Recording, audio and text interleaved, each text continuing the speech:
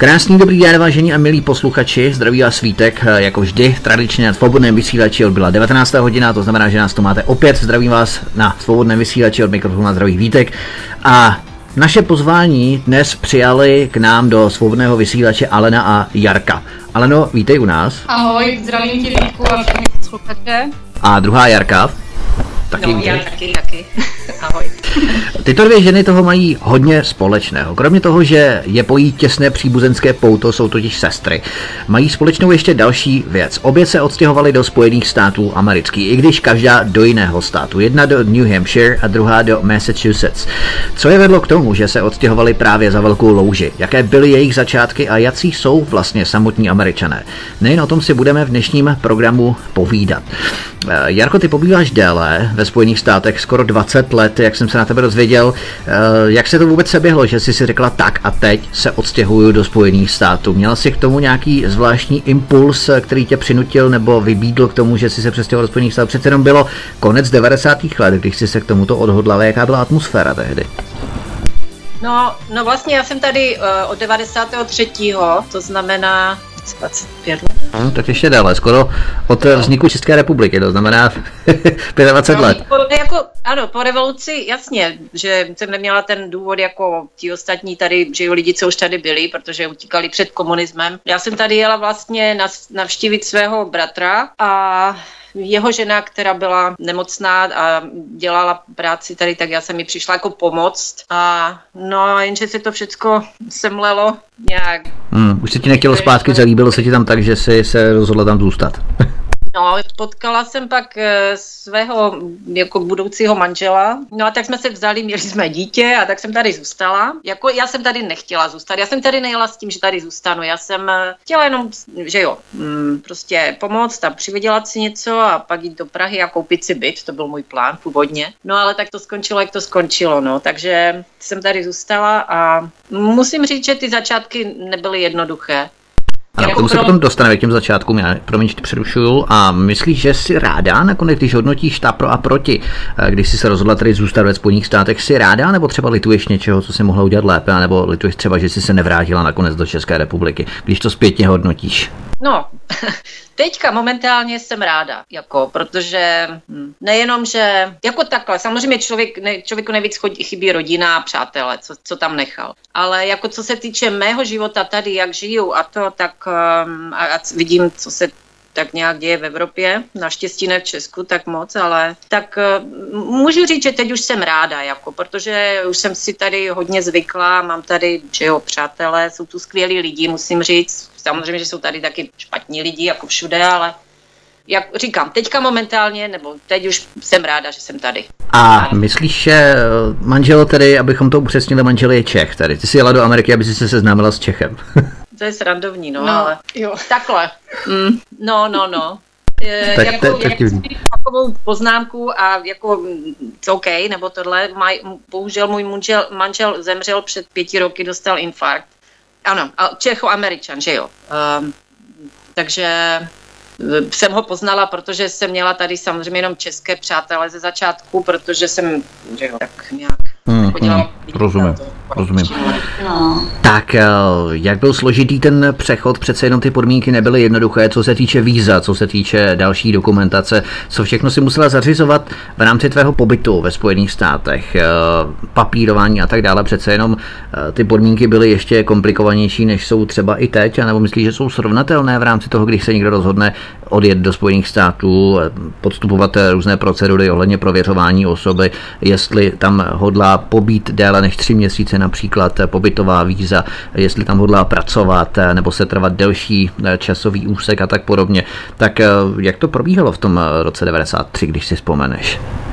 No probíhalo to, no musím říct, už, už jako samozřejmě už, už jen ten let tady probíhal samozřejmě o moc jednodušší než teďka, že ty prohlídky a takové věci, že jo, to nebylo tak příšerné. A no potom, když teda jsem se rozhodla tady zůstat, tak jsem si tak jsme šli na pohovor, zažádala jsem si o zelenou kartu a během, hm, ježmarja, už ani nepamatuju, no nedlouhé doby jsem ji dostala, mo, uh, tu, tu, samozřejmě tu prozatímní, že ono je to přes 20 roků zpátky, takže už to tak špatně pamatuju, ale uh, a potom na ty dva roky a pak, když jsme dokázali teda, že jsme spolu jako opravdu a tohle, že jsme kvůli papírům, tak jsem dostala tu permanentní kartu na 10 roků. Akorát, že jako musí si člověk pro ně do New Yorku, že jo.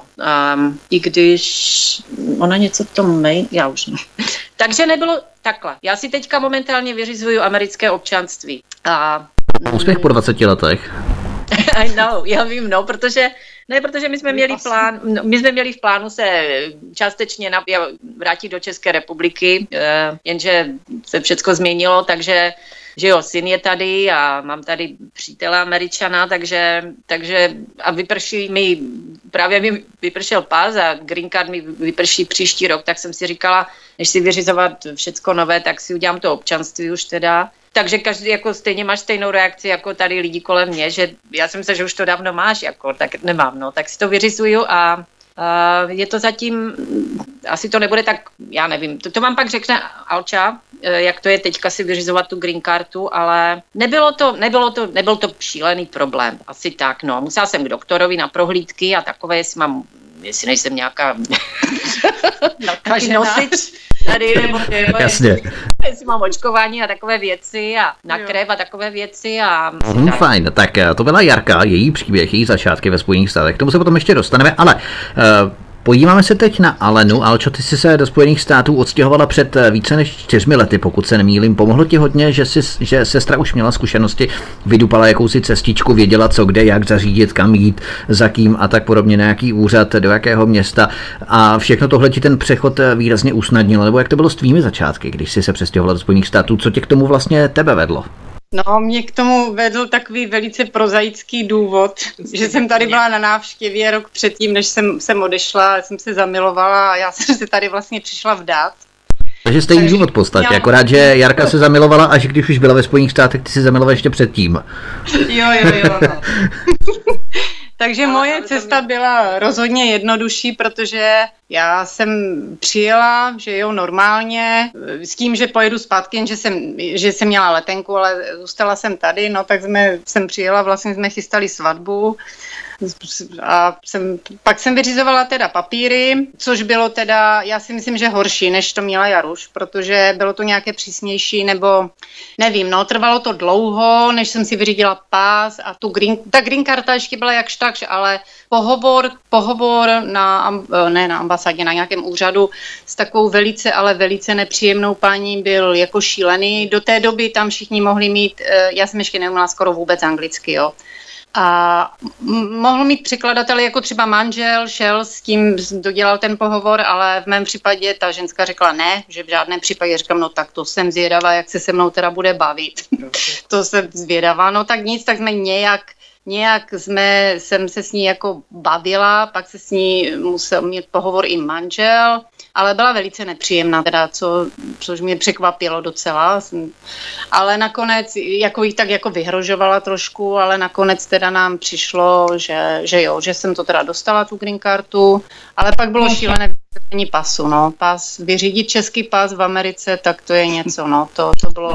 Myslíš, že tam hraje třeba roli i odkud pocházíš, z jaké země třeba, že Česká republika, vím, že po bostonském maratonu, jak tam byl ten incident, výbuch nebo střelba vlastně, tak uh, pletli si Českou republiku, Czech Republic jako s Čečnia, s Čečnou, uh, tak uh, myslíš, že tam třeba byl i problém s tím, odkud pocházíš, že ta paní nepříjemná paní na úřadě věděla, že pocházíš třeba z České republiky, tam třeba nemají dobré zkušenosti z Čechy, nebo jak bys to hodnotila třeba? Nebo to je programově, programově byla nepříjemná na kohokoliv.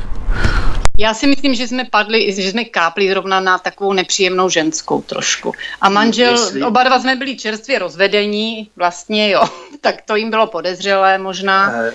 No takže nevím, ale s tím Čečenskem vím, že se to tady někdo pletl, ale myslím si, že na těch úřadech pro boha by snad mohli vědět, i když, I když že jo. Jestli můžu, jestli no. můžu do toho skočit, že no, ano, ano, ano. že že když, eh, když, eh, že hodně lidí si myslí, že Rusko a Česko je jako stejná země, protože ti Rusi nás jako okupovali, tak oni prostě Československo a Rusko. Hodně jsem se s tím setkala, že lidi si mysleli, že to je jako jedna země. No. No je pravda, že i třeba když jsme byli na té celostátní konferenci SPD, tak tam byly právě projevy zahraničních představitelů z alternativy, jednak tedy z Francie, jednak z Belgie a oni také označovali Českou republiku jako vy na východě.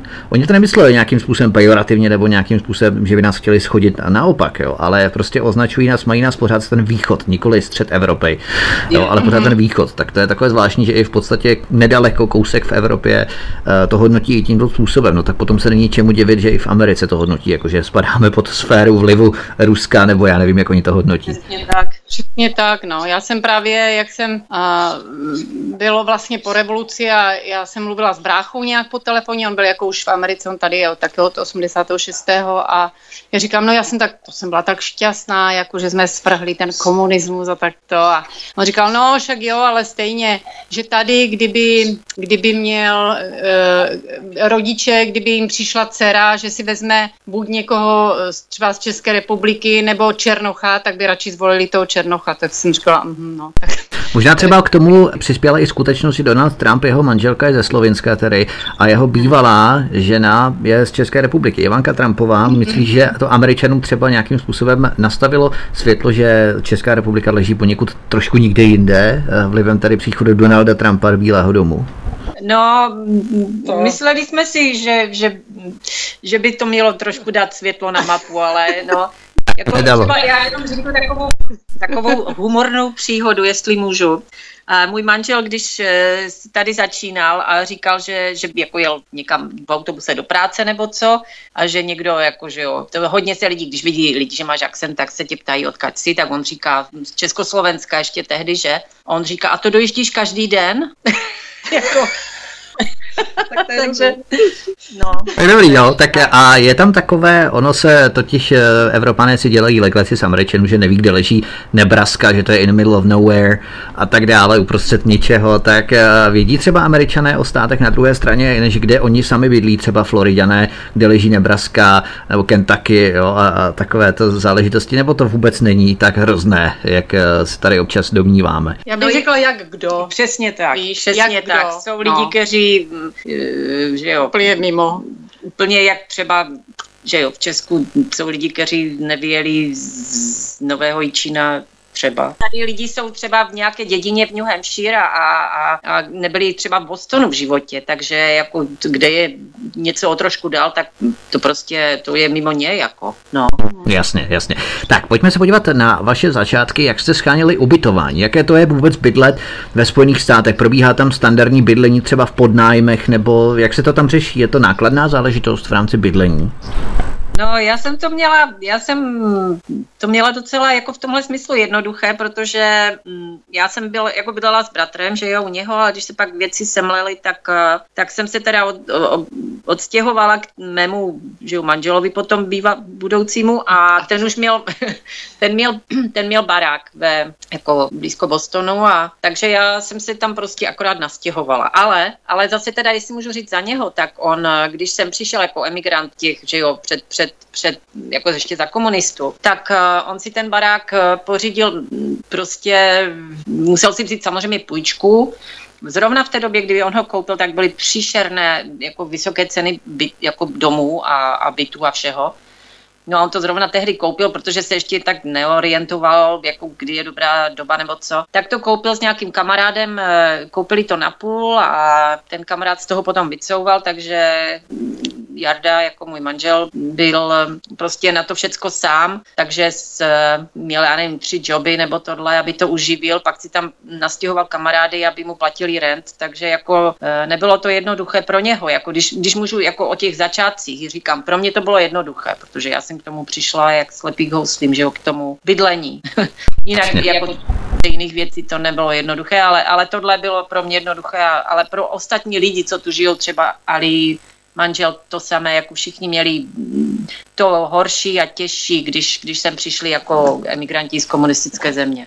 Myslíš, že třeba i pro rodilé Američany je výhodnější bydlet, nebo vyskytují se často případy, kdy rodilí Američané bydlí v takzvaných apartment houses, to znamená, že přímo v bytových jednotkách, v bytovkách, v panelácích, nebo ne přímo v panelácích, tak jak jsme zvyklí v České republice, ale v domech obsahujících více bytů, anebo v domečcích, v domcích, klasicky i třeba ve městě, v nějakých suburban part, v okrajových čtvrtích měst, tak jo. Eh, jak se tam bydlí u vás? No, eh, Tady s tím je to, že jako takhle, já si myslím, že tohle je stejně v Česku. Pokud si člověk může dovolit koupit barák, jakože jo, a platit si tu mortgage, má dobrý kredit a všecko, tak tady, že jo, jednoznačně se říká prostě, že než platit si apartment a dávat ty peníze a nic toho, jako, že jo, nebudovat, tak je lepší si dát mortgage neboli půjčku na barák a hm, platit to, splácet to a pak ho teda do budoucna vlastnit ten, ten dům. Ale jako je tady velký rozdíl, kde, kde bydlíš, jo. Mm-hmm. Třeba, když řeknu já,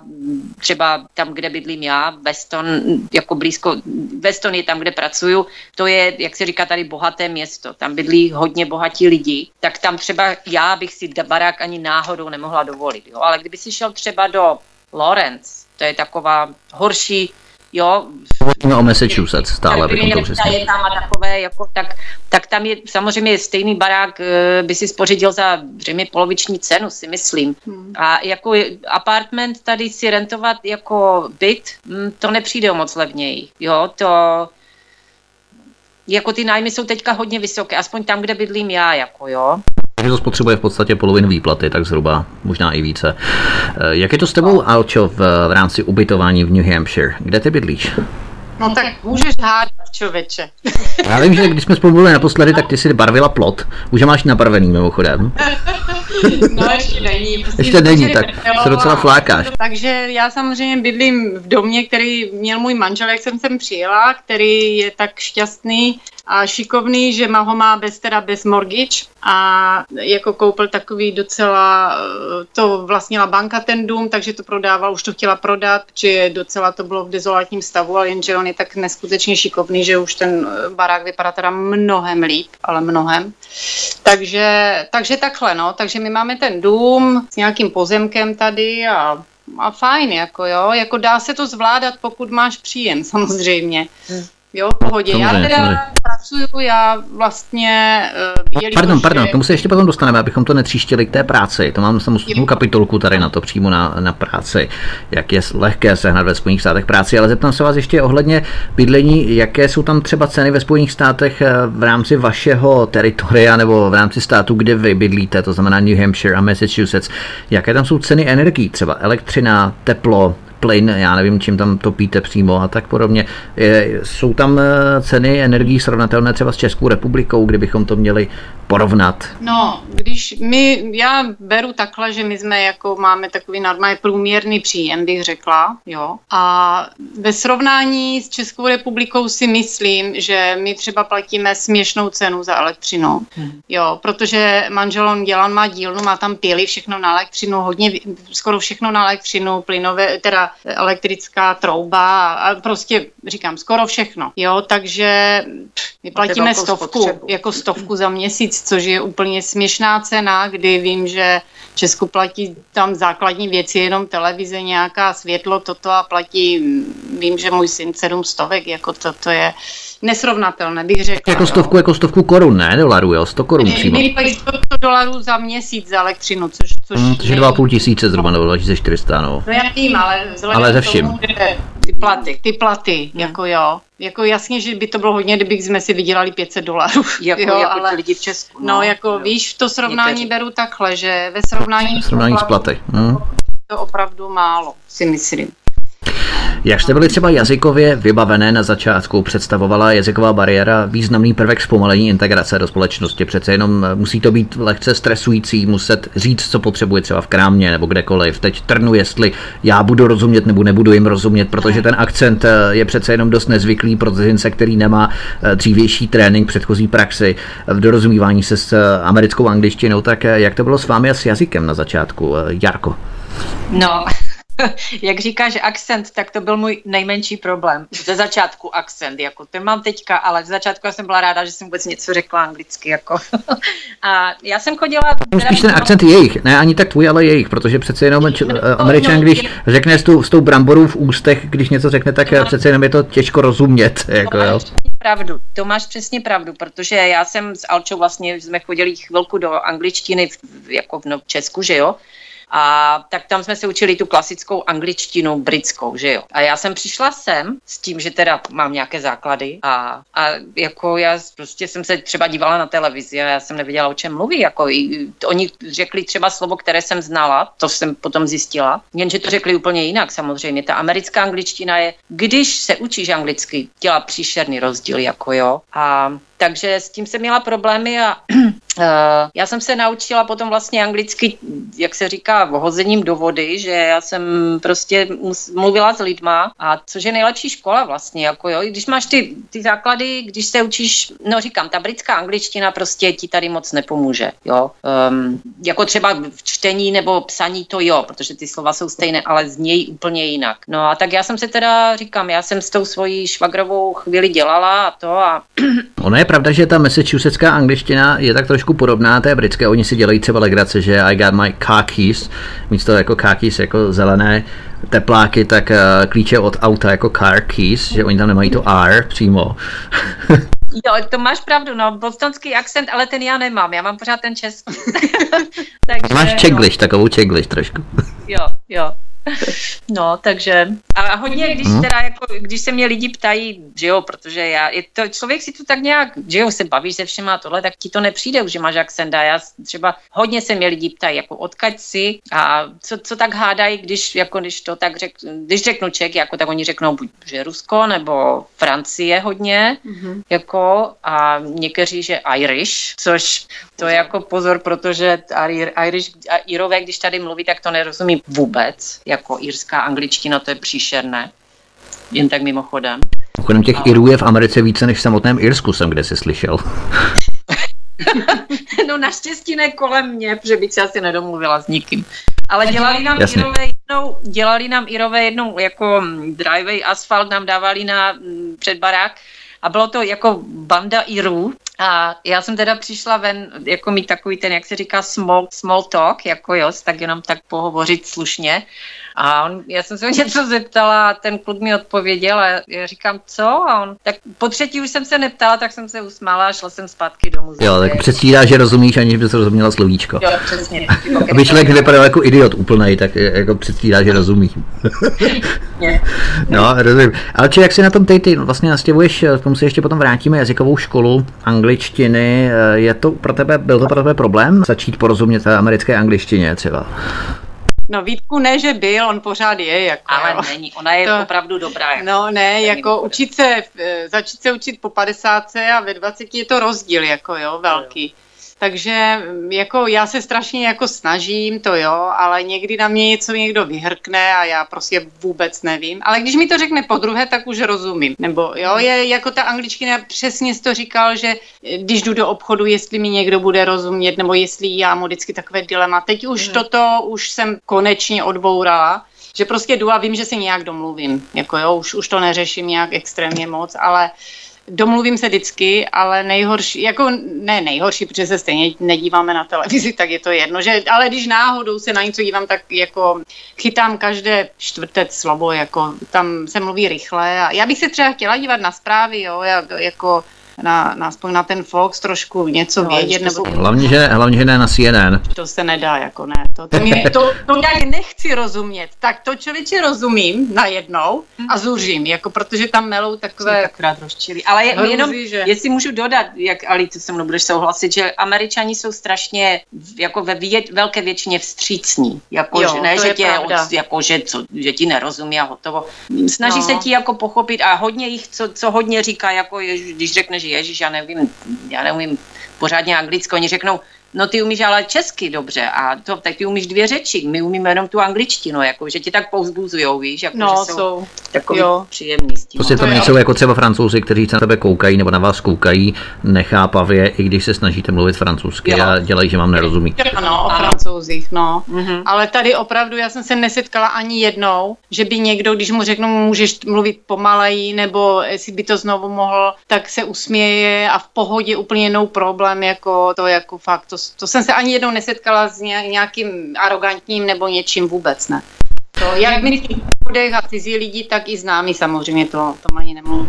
Posloucháte svobodný vysílač našimi společnicemi dnešní večery Alena a Jarka, dvě sestry, které se odstěhovaly do Spojených států amerických, jedna v 90. letech a Alena před několika lety, konkrétně před čtyřmi lety, do Massachusetts a do New Hampshire. My si zahrajeme písničku, dáme si hudební pauzu, která je právě na cestě a po písničce se podíváme na další témata. Třeba si povíme něco o tom, jaký jsou vlastně američané, jaký mají charakter, jakou mají mentalitu a jak se s nimi dá vlastně komunikovat. To jsme našli už teď, my se na to podíváme detailněji po písničce. Hezký večer. Posloucháte stále svobodný vysílač od mikrofonu vás zdraví Vítek, posloucháte pořad eh, jehož společnicemi dnes je Alena a Jarka, sestry, které se odstěhovaly do Spojených států amerických a se kterými si povídáme o různých tématech, které definují právě Spojené státy. Eh, když jste se usadili ve Spojených státech, eh, bylo něco, co vám vyloženě chybělo v USA, na co jste byli v České republice zvyklé a najednou velké překvapení ve Spojených státech to není, nebo vás něco udivilo, ohromilo, rozladilo, rozčarovalo, nebo naopak příjemně překvapilo v rámci toho pobytu na začátku? No tak tady Jarka. um, jako, jak už jsem se zmínila, tak uh, strašně chybí, že jo, ta rodina, ti přátelé, protože tady, co je jako hodně jiné než v, v tom Česku, je, že tady člověk, že jo, tam vejdeš do města, potkáš známe, pokecáš a tak jako a tady, tady prostě ne, tady vyjdeš před barák a pokud neznáš svoje sousedy, tak se nemáš s kým bavit a pak jdeš, že jo, sedneš do auta, jdeš nakoupit a lidi jsou sice příjemní, ale rozumíš, neznáš je nebo tohle. Díky většímu počtu lidí je tam větší anonymita v podstatě. Ano, přesně tak, jako i když, já říkám, já, když jsem se nastěhovala do toho baráku, teda do, tam, kde bydlím do teďka, tak tam byla jedna paní, m, mm, taková, taková ranařka docela, a, ale ta byla hrozně fajn, jako ta, ta se se mnou bavila tak, i když jsem bídně mluvila anglicky, ale jinak prostě každý se tak spíš jako na tebe, jako spíš tě lidi ignorují, jako neznám tě, jo, ne, neběžíš za mnou a ne, ne, ne, ne, já nevím co, jo, tak, tak uh, já jsem se stydila ze začátku, protože jsem neuměla anglicky a ještě musím říct jednu takovou nepříjemnou příhodu, co se mi stala. To jako byla jenom naštěstí jedna, ale do teďka si pamatuju, protože to bylo Eh, jak jsem měla Davida syna, eh, malý, jak byl ještě malý v kočárku, tak jsme jeli, že jo, tam po sousedství, jsme po ulicích a tak jsem s ním chodila a mluvila jsem s ním česky, že jo. A on, eh, tam byl nějaký chlapík, takový starý děda a něco tam spravoval na autě nebo co a ještě, já jsem si zrovna říkala, je děda, jako škoda, jako můj syn ho tady nemá, nemá tady dědu, že jo, a to. A, on, tak jsem tam něco mu povídala a ten chlapík se otočil a říká, you are in, you are in America, speak English. And, a, jako, a to mě pomalu dohnalo k slzám. Já jsem mu samozřejmě rozuměla, jsem mluvila už trochu anglicky, ale jsem si říkala, jako mě to tak trošku Až ovlivnilo bych řekla. No, ne, ne, ne, nelíbilo se mi to, asi tak. No a tak, hmm, že rozumím. A nebo ještě jeden příklad, co to jako to negativní, že když eh, lidi volali a takhle, nějaké ti nabízeli všecko možné samozřejmě, a, nebo to, to je úplně jedno. Ale a že jak, jak se jmenuje, že já říkám Jaroslava a, a ona říká, Jaroslava, what kind of name is that? Like, jako, jako co to je za jméno? Jako, Maria, to, víš, jako jo. takové, hm, hm. no nebylo to příjemné, no, tak No, to teďka, teďka už bych se s tím člověkem vypořádala jinak, ale tehdy mě to jako trošku dojalo. Jasně, jasně. Ono v podstatě ta jména jsou pro ně docela taková zvláštní, taková eh, humorná příhoda, byla Božka, Božená Božka se jmenovala v České republice, české jméno a oni se pltli s bazukou, jo. Oni říkali jako Božka, bazuka, what kind of name that, jo. Prostě taky nevěděli. Yeah. tak jako pleci s Božku s bazukou je docela, docela takové zajímavé. Ale co ty, Alčo, co třeba tobě chybí, kromě tedy standardně přátel, známých kamarádů z České republiky, co tě třeba překvapilo na Spojených státech? když si sem přijela, začínal si se rozkoukávat v té komunitě, v prostředí, v novém prostředí, v nové kultuře. Co tě třeba zaujalo, co tě třeba ohromilo? No, já jelikož jsem tady jezdila už často, jako já jsem tady jezdila navštěvovat sestru, že nebo bráchu a já jsem si myslela, že mě vůbec nic nepřekvapí, jako jo, že to bude strašně jednoduché, že pff, nic se neděje, že si okamžitě zvyknu, no jako ani náhodou. Eh, ze začátku jsem měla mm, jako nepříjemné stavy vyloženě. Mi chybělo úplně všechno. Mi dokonce chybělo to, co jsem neměla ráda v Česku. Jako jo. Takže, protože jsem tam žila delší dobu. Já jsem byla víc zvyklá že, na to. Takže mi chybělo jít taky jenom tak ven, nebo jít do nějakou klubu na koncert, jo, potkávat se se známýma, nebo i v té práci, že já jsem měla docela takovou jako zajímavou práci a chybělo mi, pro, i když jsem tam jezdila nerada, jako abych řekla kolikrát, protože no to je jedno. A, ale chybělo mi úplně všechno, úplně všechno. No já prostě nevím, no nějak asi se, ani jsem nevěděla, že, že se to takhle může stát, ale mm-hmm. ale čas... Takže tam není takový ten Eurostyle, jako třeba v Austrálii říkají, že třeba nejblíže Evropě, pokud se chce člověk odstěhovat z Evropy někam do jiného kontinentu, tak nejblíže té mentalitě evropské Austrálie, tak tam to tak není ve Spojených státech. No to já nemůžu říct, víš, někdo jiný by se třeba tady adaptoval rychlejc, nebo takhle, ale mně to tak nějak nešlo. Já je, no. zase, jestli můžu... No, jako, ano, určitě. Um, tak to je třeba ta moje švagrová, co jsem tady za ní že jo, původně za, jako přijela, um, tak ona tady přijela taky za mým bráchou, že jo, on, za naším bráchou, on t, tady, ona to měla strašně strasti plné, protože to bylo ještě pořád za komunistům, se přes Jugoslávili vraceli a všechno, to je jedno. Ale a ona, když se sem konečně dostala, byli spolu, kdy oni se měli jako opravdu rádi, tak ona, ona měla příšerné deprese. Ona prostě byla z toho jako jak, jak, jak jí chybělo to, to Česko, jako ten, ten styl života tam, tak ona tady prostě byla, ale a, takže, a já jsem to, já, já jsem to taky prožívala dost špatně, protože, protože taky to bylo kvůli tomu, že třeba teďka že jo, když ještě Alča tady nebyla, tak eh, my jsme byli na Skypeu, nebo že jo, prostě jsme byli ve styku, viděli jsme se a tak, jenže já když jsem přijela, tak že jo, to byl, Skype nebyl samozřejmě a tak jsme si třeba vyměňovali tyhle kazety namluvené, anebo za že pár minut na telefonu nebo tak, takže hm, to bylo prostě jako těžší, no, nebo co, ale to chci říct, že, že co mám zkušenosti, tak ženské jako, jako ženy, a to prožívali až na malé výjimky vždycky hůř než muži, jako tu změnu sem, což... Mm-hmm. Um, Já bych řekla, jako, no. jo, no. Uh, takže... je to pravda, že člověk má takovou jakože podvědomou úzkost z nového prostředí, když třeba se přestěhuje úplně, změní šup, šlus hned, uh, nové prostředí, tak eh, je to taková úzkost, já víš, že třeba když jedu na dovolenou, nebo když trávím v zahraničí, třeba týden, dva, tři a tak dále, tak eh, člověk už má takové to pnutí, už se těší na to Česko, nejenom se tedy nadechnout v tom prostředí, jo, ta atmosféra, přece jenom člověk kolem sebe slyší tu češtinu, eh, potkává známé lidi, vidí prostě známé prostředí, ve kterém vyrůstal. Ono to všechno má, člověk si to neuvědomí do té doby, než vycestuje z té země pryč, jaký v podstatě vliv na podvědomí člověka vůbec atmosféra a prostředí, ve kterém vyrůstal. Jo, co, což je hodně zajímavé zajímavé právě. To si člověk uvědomí potom opravdu, až se odstěhuje, najednou začne eh, vzpomínat na to Česko, co by si teď jo. zrovna dal, nebo co by udělal, kdyby byl v Česku a tak dále. A přece jenom to, to je opravdu no, hodně, hodně na psychiku. Jo a tady vlastně i, i kolem, když se podíváš eh, ty města a takhle, tak ta architektura je úplně jiná, že jo, než, než v České republice. Tam, jako mně se to víc líbí, jako abych řekla pravdu, jo, jako ty um, historické stavby a různě. Tady jsou ty domečky, domečky všechny jako skoro stejné, jako no, podobné, jo, je, no. že ty města jsou stejné. Já, když jsem tady jezdila, já jsem vůbec nevěděla, v kterém jsme městě, mi to připadalo úplně stejné, jako doteďka. Já, jsem, já bloudím, nebýt navigace, tak já, když někam odjedu, tak já přijdu za týden, jo, protože to je stejné. Je to sice hezké, já miluju tady ty domečky, každý to má upravené a takhle před barákem a toto. Je to takové milé, jo, příroda krásná, nádherné ale stejné. Evropa je no. prostě, Evropa je kontinent univerzit, katedrál, kostelů, to podobně, což přece jenom ve Spojených státech není. Hmm.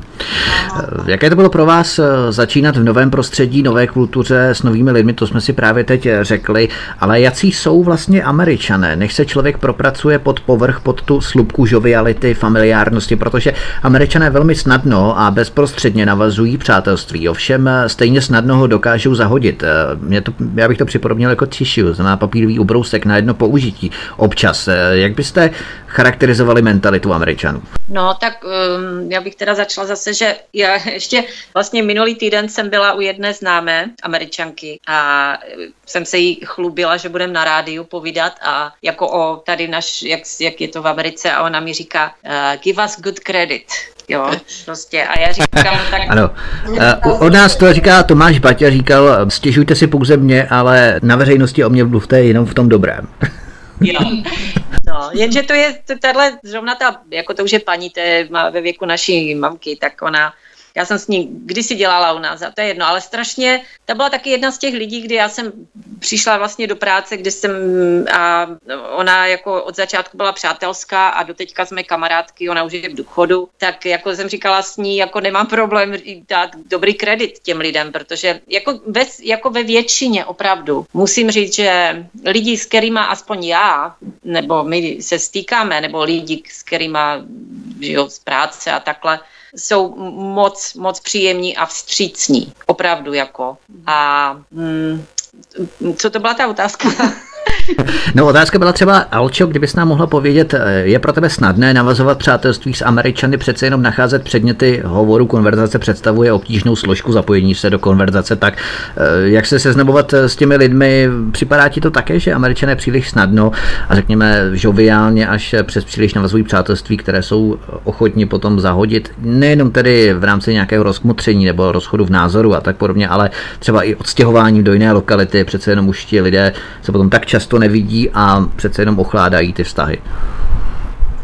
No, já teda, já tady nějaké svoje, jenom svoje přátelé americké nemám, jo. Já mám vlastně v podstatě přátele mého muže, protože ten má spoustu amerických přátel. Jako jo, a já musím říct, že taky to jsou vesměs lidí příjemní, kteří kteří mě mají rádi, bych řekla, i jako jeho jsou, ale to jsou opravdu jako skvělí lidi, ale mm. jsou tady i jako, hm, no, jak bych to řekla, no tak ne tak skvělí, ale to je všude, jo, ale mm. jako všeobecně zase musím říct, že ti američani kolem nás tady, jo, já nevím, jak jinde, my jsme teda byli akorát v tom Coloradu a na Floridě, jsou lidi byli kolem nás příjemní, většinou, jo, i takhle, mně strašně se líbí třeba, když jdu venku, jedu na kole a někdo jde a zdraví, vůbec se neznáme, v životě jsme se neviděli, lidi se zdraví, usmívají se na sebe, to je jako pravda, jo, to, to tak je, oni jsou takový, já nevím, no, jestli je to jenom povrchní nebo není, to nevím, ale každopádně je to příjemné, než když někoho potkáš a mračí se na tebe, jak kdybys ho chtěl zavraždit nebo co, takže nevím, a lidi tady se, jako, oni se se mnou strašně chtějí bavit a stýkat a a vždycky po, pod někam a já, Ježíš Maria, já jako, já nejsem Máš ten... good practice in English taky. No, no ale, ale, ale mám, ale víš co, jako, jako Někdy... já bych si s nima povykladám, ale mě ty témata takové těch američanek Právě. většinou jako Některý absolutně... není tvůj šálek kávy, jo, asi no, tak. Jak, no, já se s nima pobavím na té párdy nějaké, to, to proneseme nějaké ty řeči, jako je to fajn, je to milé, ale, ale čau, jako konec, jo. Ne, a co třeba tvoří předměty hovoru, třeba vaření, weather, počasí, no to, sport? Ne, jo, recepty, jo, to vlastně, no, jo. oni přesně musí být napsaný recept, protože já vždycky nevím, já tam vždycky něco nahážu. Já taky, no, ne, no, vůbec. ale jako weather to je velice, jo. velice to je, to je, jak se říká ten starter, nebo co, no, že jo, no, nebo, no, no. A, nebo ale takové to, jak, víš, jak se říká, hey, how are you, se tě každý ptá, jako no. moc. Vůbec teda nezajímá, jak to má. Nebo co, takže to jako no, to... No, je, ale říkám, no, oni se dokážou v podstatě bav... a jako mohla bych říct, že se zajímají o tebe, jak je to v tvojí zemi, jak, jak, jak to taky, a jako v podstatě podobné otázky, jako ty mi třeba tady dáváš, jo? jenže v angličtině se mi to blbě vysvětluje, mm.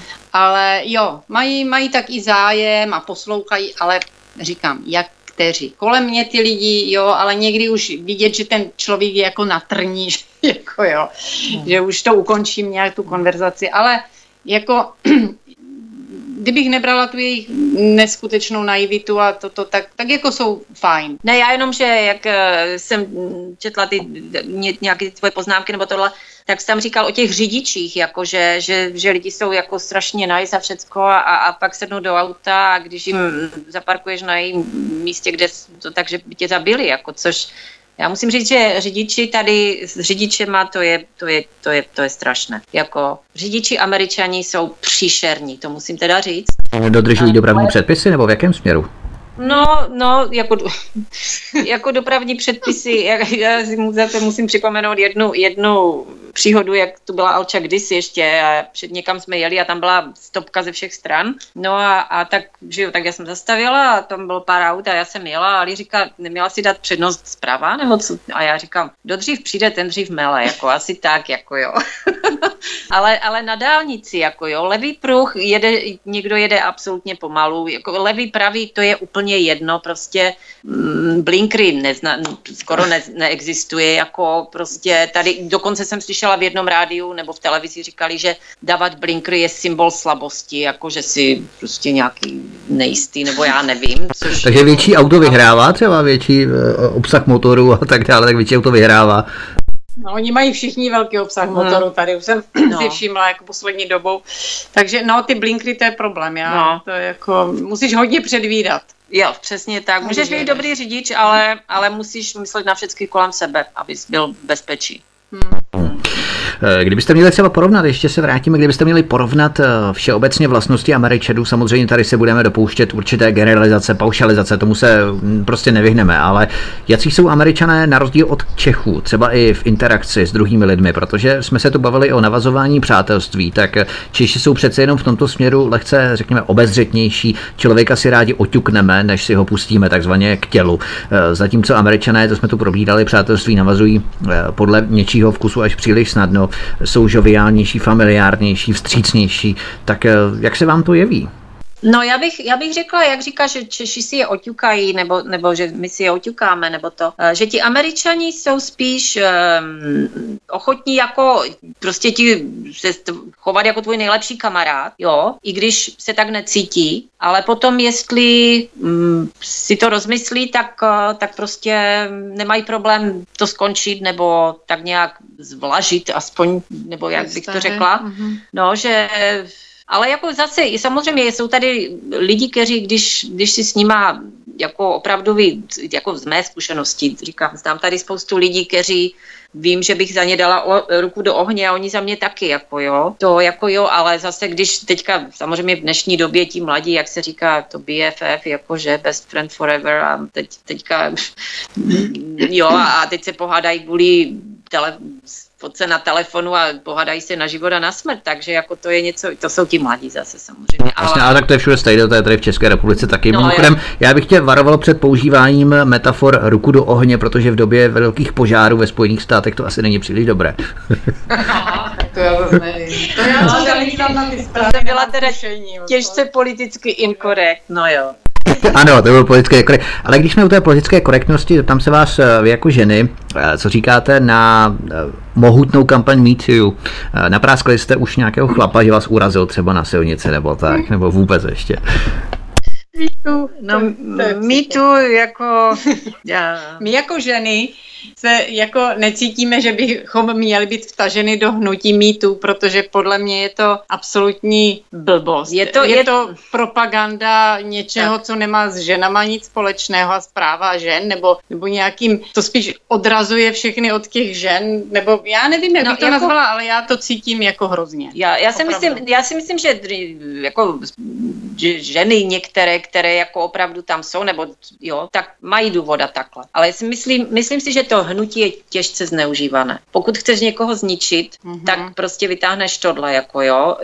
A, a říkám, nepopíráme, samozřejmě, že jsou ženy, které byly, které měly problém, které byly, já nevím, obtěžovány, nebo já nevím, násilněny, nebo co, a samozřejmě. Ale, to, ale podle mě to z mýtu ale, nemá nic společného. Ale, jako. Ne, ale když je, jako, když je nějaká no žena právě. obtěžovaná, nebo no. něco se jí fakt takového stane, jako hroz, hrozného, tak já, já si třeba, já osobně, že bych to šla vyřváňat někde do, do televize nebo policii, někde, nebo jako jo? někde tam na sebe upozorňovat, no. jako já to nedovedu Se zaťatou pěstí jako. tam vykřikovat jo, jo. před televizí. A... a to je možná právě militarizací těch feministických hnutí ve Spojených státech, kdy tam je opravdu silně, silná agresivita vůči chlapům, silná militarizace těchto aktivit v rámci feministek. Cítíte to také tak, že tyto procesy se potom přenáší samozřejmě i do České republiky, protože tam jezdí na školení eh, naše místní feministky v rámci International Visitors Leadership a dalších programů, eh, které potom zpětně přenáší ty procesy i do jiných zemí, ale cítíte tam také tu nabušenou opravdu agresivitu, takovou tu eh,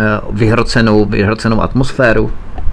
No teda já jo, teda co. Jako ano. Já teda rozhodně jo, protože to je, to je moc jako. To je moc, však já už když dívala na nějaké, v televizi bylo nějaký ten, no to bylo, jak Jaruš mi to říká, to bylo hrozné. Zkus mm-hmm. si vzpomenout, co to, to bylo. bylo. To byl ten nějaký guru uh, v televizi a on měl, je to nějaký ten kněz, jak má ten super, ne, ne kněz, guru, nějakou tu velikánskou halu a prostě tam mluví s lidma a, a čekaj, co on to říkal, že... Mm, on říkal, aby ty ženy si rozmysleli, jo, než takhle. někoho napadnou, jo, že, že, jo. jo, že můžou roz, roz, vlastně strašně on tam ublížit, prostě, jo, no, celé že, rodině. On no. tam, jo, díky, že, no a právě to jsem jako viděla v televizi, on tam říkal, no, že, že prostě ženy, že některé ženy můžou úplně zničit eh, č, jako č, nějak člověku život, jako ho úplně znemožnit a to, ať si opravdu rozmyslí, jestli jestli to dělají, protože byli opravdu jako ublížené, anebo jestli to dělají z pomsty, nebo tak jako. A, a, to je lehké, velmi lehké zneužít, no, přesně tak. A přesně, no, to je a těžké posoudit, že jo, a, no, a, no a tam nějaká ženská tam si vystoupila, začala tam samozřejmě, samozřejmě. napadat a všecko a hnedle druhý den on jako to říkal, že, že to tak nemyslel. Jako prostě už ho zpracovali, asi tak, protože asi mu vyhrožovali a takhle, takže prostě jako svoboda slova v Americe někdy prostě no, přesně za, takhle funguje, zapomeň, jak jsem teďka no. řekla. Jako, jo, tam lehké jako někoho obvinit v podstatě něco jako presumce neviny nefunguje, je tam praktikován spíš napoleonský kodex, to znamená, my tě obviníme a ty dokážeš, že to není pravda. Přesně, no. Bych to tak, to, v no. těchto případech jako zvlášť to je síla, no. To je, no, to, to, a když se to bavíme o politické korektnosti, ještě nekorektnosti, co třeba Černoši, Hispánci, znáte lidi třeba i z těchto vrstev, nebo se jedná o komunity, které jsou více či méně uzavřené do sebe a nenavazují kontakty vně uh, té jejich komunity? Tak, tak já znám, no. no. Ne, tak já znám vlastně jenom jednoho Černocha. Vyloženě. No, ten nás teda oddával, to je fajn chlap, jako mm. úplně v pohodě. On má teda běložku ženu a to byla taková veselá kopa, srandista, jak on byl právník. Čer, jako z těch, jako, no, si dělal, dělal si srandu, jako to byl fajn chlap a jako to musím říct, že tady kolem nás jako moc, moc těch Černochů není, ani těch Hispánců moc. No. Tady není. Jsi spíš na Floridě, ne? Jak jste říkali, že jste byli na Floridě, tak tam ty no, Hispánci byli hodně. Jo, tam, tam bylo hodně, ale jako, že by mě to nějak nic, jako oni se nijak ne, nevyjadřovali proti nám, nebo já nevím no. nic, jo, úplně všechno v pohodě. Ono, ono oni jsou prostě na stejné lodi jako vy, že v podstatě cizinci také. No, ale oni spíš jako, co můžu říct zase za Massachusetts, tak třeba jak jsem jmenovala ten Lawrence jako město, nebo, nebo Maria Brockton, Low, nebo Low, Low. Prostě jsou města, jak jsem říkala, ten Weston třeba, že to je jako, že tam jsou jako bohatí lidi většinou a, a tak zase jsou města, kde, kde je skoro, tam by se třeba normálně člověk ze střední vrstvy nenastěhoval, protože by se bál svůj život, jako jo, protože tam opravdu se střílí a jsou tam ty gengy a tak to jako je a to jsou jak černoši, tak hispánci většinou, jako jo, to nechci být tady nějaký to oddělovat nebo co, ale jako tam to tak je, no. Takže takovou pověst má dost Chicago, jako z Illinois. Tam jo převládají ty mafiánské skupiny a různé výpálnictví a tak dále. Eh, fajn, posloucháte svobodný vysílač studia Lapin Radio, hovory u Klábosnice, od kterých vás zdraví vítek. Našimi společnicemi dnešní večer je Jarka a Alena, sestry, které se odstěhovaly do Spojených států americké. Každá v jiném období, každá do jiného státu, ale máme je teď obě na lince, na skypové lince, se kterými si právě povídáme o Spojených státech. Dáme si hudební pauzu a po písni se budeme pokračovat dál. Hezký večer. Svobodný vysílač je vaším eh, dnešním společníkem. Dnešním večerem nás provází Alena a Jarka, sestry, které se odstěhovaly do Spojených států amerických a se kterými si právě o Spojených státech povídáme. Eh, co třeba kult barbecue, takové ty opulentní večírky, parties, aby bylo vidět, jak je člověk úžasně společenský, pohostinný, tak se zve půl čtvrtě k sobě na barbecue, všichni nahodí úsměvy, zapnou režim have fun a na povel se všichni začnou náravně bavit. Je tohle běžné? Stotožňujete se s tím? Je to, je to běžná věc? Já, já, tím, já můžu říct teda, že máš pravdu, Vítku, v tomhle, to, to je pravda. jako, eh, že jo, buď jsou tyhle ty, anebo jsou i takové ty, co máme třeba my, ty barbecue, kdy se opravdu usmíváme, protože jsme šťastní a je veselí, je ale sranda, samozřejmě no. je, kdy tam pošle, pozve půl města někdo a jako barbecue je tady velk, big deal, jako vel, prostě strašně důležitý. Tradice, no, no. Je, je, je. No. A děláte to často, v podstatě je to jakási společenská konvence pořádat barbecue jednou za, já nevím, dva, tři měsíce, nebo spíše se to dělá třeba v rámci známých, kdo je na to třeba dispozičně vybaven v rámci prostoru, v rámci baráku a tak dále, nebo se to dělá střídavě u každého?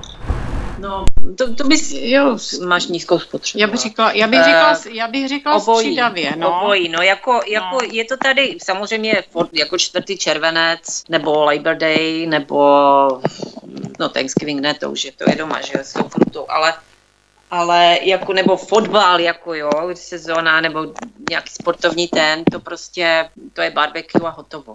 Jasně. A třeba ten uh, Labor Day, svátek práce, to je docela takové vtipné, protože u nás to má spíše ten pejorativní nádech toho komunismu, socialismu, první květen, tam v Americe je to první září, ale přece jenom tam je to trošku asi jiné uh, svátek práce, než tady v České republice, že? Mm-hmm. No, jako to jsem zjistila, nevím, to je jenom taková zajímavá poznatek, že na Labor Day se bys neměl mít na sobě nic bílého. Um, nevím proč přesně. Ale je to spíš takové, jako, jako je to, že jo, konec léta, začátek uh, podzimu a školy a všecko a tí, to znamená, to, to je velký důvod pro oslavu. Udělat si barbecue, pozvat si spoustu lidí, no, takže hmm. není to jako prvomájový průvod. Jasně. Když si tady bavíme právě o těch společenských konvencích, o patriotismu, nacionalismu, 4. červenci, 1. září, co se týče třeba sociálního zázemí, jaký mají američané pohled na svět všeobecně, na roli třeba Spojených států, na politiku ve světě. Jarko, ty jsi už byla ve Spojených státech v době 11. září, co se po té době změnilo? Nastal nějaký předot myšlenkového vnímání po tom okázalém, řekněme, až masturbování, já se omlouvám za ten výraz, masturbování před americkou vlajkou, kdo nejde s Bushem, nejen, že není američan, ale možná je dokonce i terorista, pokud nesouhlasí s Bushem a s jeho intervencí do Afganistánu a později do Iráku. Aktuálně zvítězil v roce 2016 Donald Trump. K tomu se potom ještě dostaneme, ale nejprve se trvejme u toho 11. září. Jak američané vnímají tedy politiku? Podle čeho se rozhodují voleb? Jsou hodně ovlivnitelní, anebo jim stačí kobliha ve Spojených státech do Donat? No, po tom 11. září bylo hodně vidět, jako že se lidi semknuli a mm, jako bylo tady samozřejmě hodně útoků nebo na, mm, ať už verbálního nebo napadání těch muslimů, že jo, protože jako ti to zavinili, že jo, jako, jako toto. Ano, A, no a tak ty vlajky jako všude jako, na, jako národní pra, eh, hrdost a všecko stouplo spoustu jako procent a a no prostě takhle, jako, jako jo, ta hrdost, jo, ale samozřejmě, že to potom tak nějak upadlo, že jo, a toto, a jak, jak to bylo třeba u nás, že jo, v tom toho 17. listopadu, lidi byli všichni tam společně a toto a, a, a potom už se to tak nějak, pak se zase žilo normálně, nebo co, už mm, tak nějak Byly třeba zaváděny drakonické opatření, jako třeba Patriot Act, špiclování, jo. šmírování NSA a tak podobně, tak eh, rozdělilo to třeba americkou společnost, polarizovali se lidé v rámci přístupu nebo hodnocení těchto eh, záměrů, které by vlastně neprošly, pokud by se neodehrálo 11. září. Jo. No to, to jo, určitě, jako třeba samozřejmě, že spíš ti liberálové byli proti tomu a mm, že jo, ti republikáni byli jako jo, že když máš čisté svědomí, tak se nemáš, tak nemáš co skrývat a tak. A um, takže jako je to tady hodně roz, roz, roz, rozdělené tím, já, já si vzpomínám, co, co, ty jsi to, co jsi to říkal ještě po, té, po tom 11. září? Uh... To já nevím, potom Donald Trump, ale k tomu se potom dostaneme. Já bych se jo, chtěl jo. věnovat právě té politice, co třeba američané řeší hodně, když se tedy bavíte o politice, pokud tak. Eh, to tvoří stěžení témata, se kterými se bavíte s američany, s vašimi známými. No, jako tady bych mohla říct, že to je jako v Česku. Když se začneš bavit o politice s někým, kdo má proti jako jiný názor, tak, tak se lidi pohádají. Jako, jo. Je to, je to čer, skoro opravdu bych řekla černá bílá, protože tady si buď liberál a já nevím, jak to říct, sluníčkář a tohle a, a, a, Jasně, snowflakes. A proto jako ještě to můžu říct, jako, že když si stoupenec Trumpa, tak uh, v určitých místech práci a tak, um, tak to nemůžeš říct jako otevřeně, abys, abys nebyl aspoň při nejmenším na sebe, na tebe nehleděli jako na nějakého vyvrhala. Jako jo. Není tady ta svoboda slova, není úplně tak, jak se říká. No. To je zajímavé. A Alčo, co se týče aktuální situace, jak pohlížejí třeba američané právě na Donalda Trumpa, eh, představuje pro ně stále stělesnění odporu nebo jakési revolty proti takzvané elitářské vrstvy aristokracie, jak byl vykreslována, nebo už se netěší takové podpoře jako třeba před, eh, dejme tomu, těmi dvěma lety, když, eh, byly, když probíhaly volby právě do Bílého domu? No, Vítku, já to nemůžu posoudit, protože já se fakt na ty zprávy nedívám, ale zase mám kolem sebe známé a většinou ti známí američany jsou pro Trumpa a říkají, že zatím, co splnil, to udělal, teda co udělal, to, eh, co slíbil, to udělal. A jako spoustu věcí to, oni neví tak třeba do hloubky tu politiku, a jo, co tam bylo, že vlastně on byl úplně okleštěný od těch pravomocích svých a tak dále ale jako my třeba máme i americké, i české přátelé, kteří jsou v podstatě všichni, jsou pro Trumpa a nesklamal je, jo, mm. jsou pořád pro něho a, a máme v podstatě takové nějak si stejné názory, bych řekla, ale máme třeba, můj muž tady měl takový pár, eh, přátelé dlouho, on pro něj pracoval, byli opravdu velcí kamarádi a díky vlastně tady té politiky jsme, jsme je ztratili, protože ona, ta, především ta, ta žena, ta neunesla prostě, že jsme pro Trumpa, protože na něho jenom nadávala a že lhář, lhář a toto a už, už, se, už se s nima nestýkáme, i když on se s nima stýkal 20 let určitě, jo.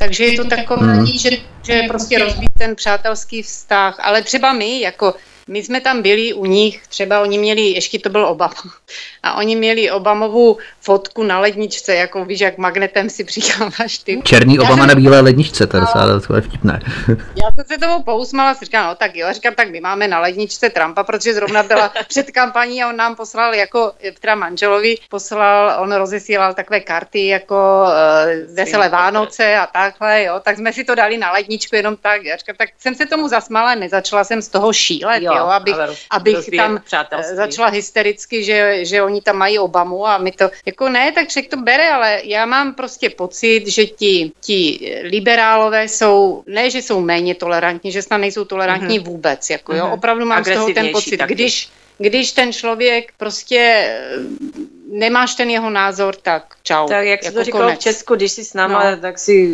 Já už nevím přesně Když jsi ale... proti nám, tak si nepřítel, tak. No. Ještě Takže tam probíhá takové bonzáctví na sociálních sítích, třeba udávání a blokování profilu. Je to v podstatě úplně to tež. No, tak sociální As... sítě já nevím, člověče, já nemám no, ani Facebook, takže... Aha, tak no, to byla špatně položená otázka. Jo, jo, ale ještě to jsem chtěla, já jsem si vzpomněla, k čemu jsem se chtěla zmínit, co si o tom mluvil, jestli jsou lidi ovlivnitelní, když se jde k volbám a takhle. Tak jsem si vzpomněla na jednu, když e, jsem, jako byly volby pro Obamu, a to právě, já to nevím, jestli je ti známo, že tady jsou ty různé televizní stanice, ale ta Fox je taková, dalo by se říct, já nevím, alternativní, nebo prostě no. oproti, jako proti neliberální, asi tak.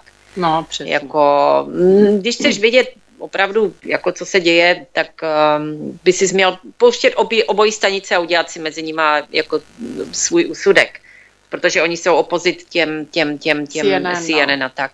No uh-huh. a tam bylo prostě, eh, jak byly volby pro Obamu, tak tam byla řada lidí, co šli jako volit, jo, to, a tam byla nějaká ženská, jako, nevím, jestli budu korektní, ale černoška, a ona říká, ten, ten jejich eh, jako mm, hlasatel nebo redaktor se jich ptal, říká, proč tady stojíš, proč, proč, volí, proč volíš pro Obamu? Ona říká, oni nám slíbili, že budeme mít zadarmo barák.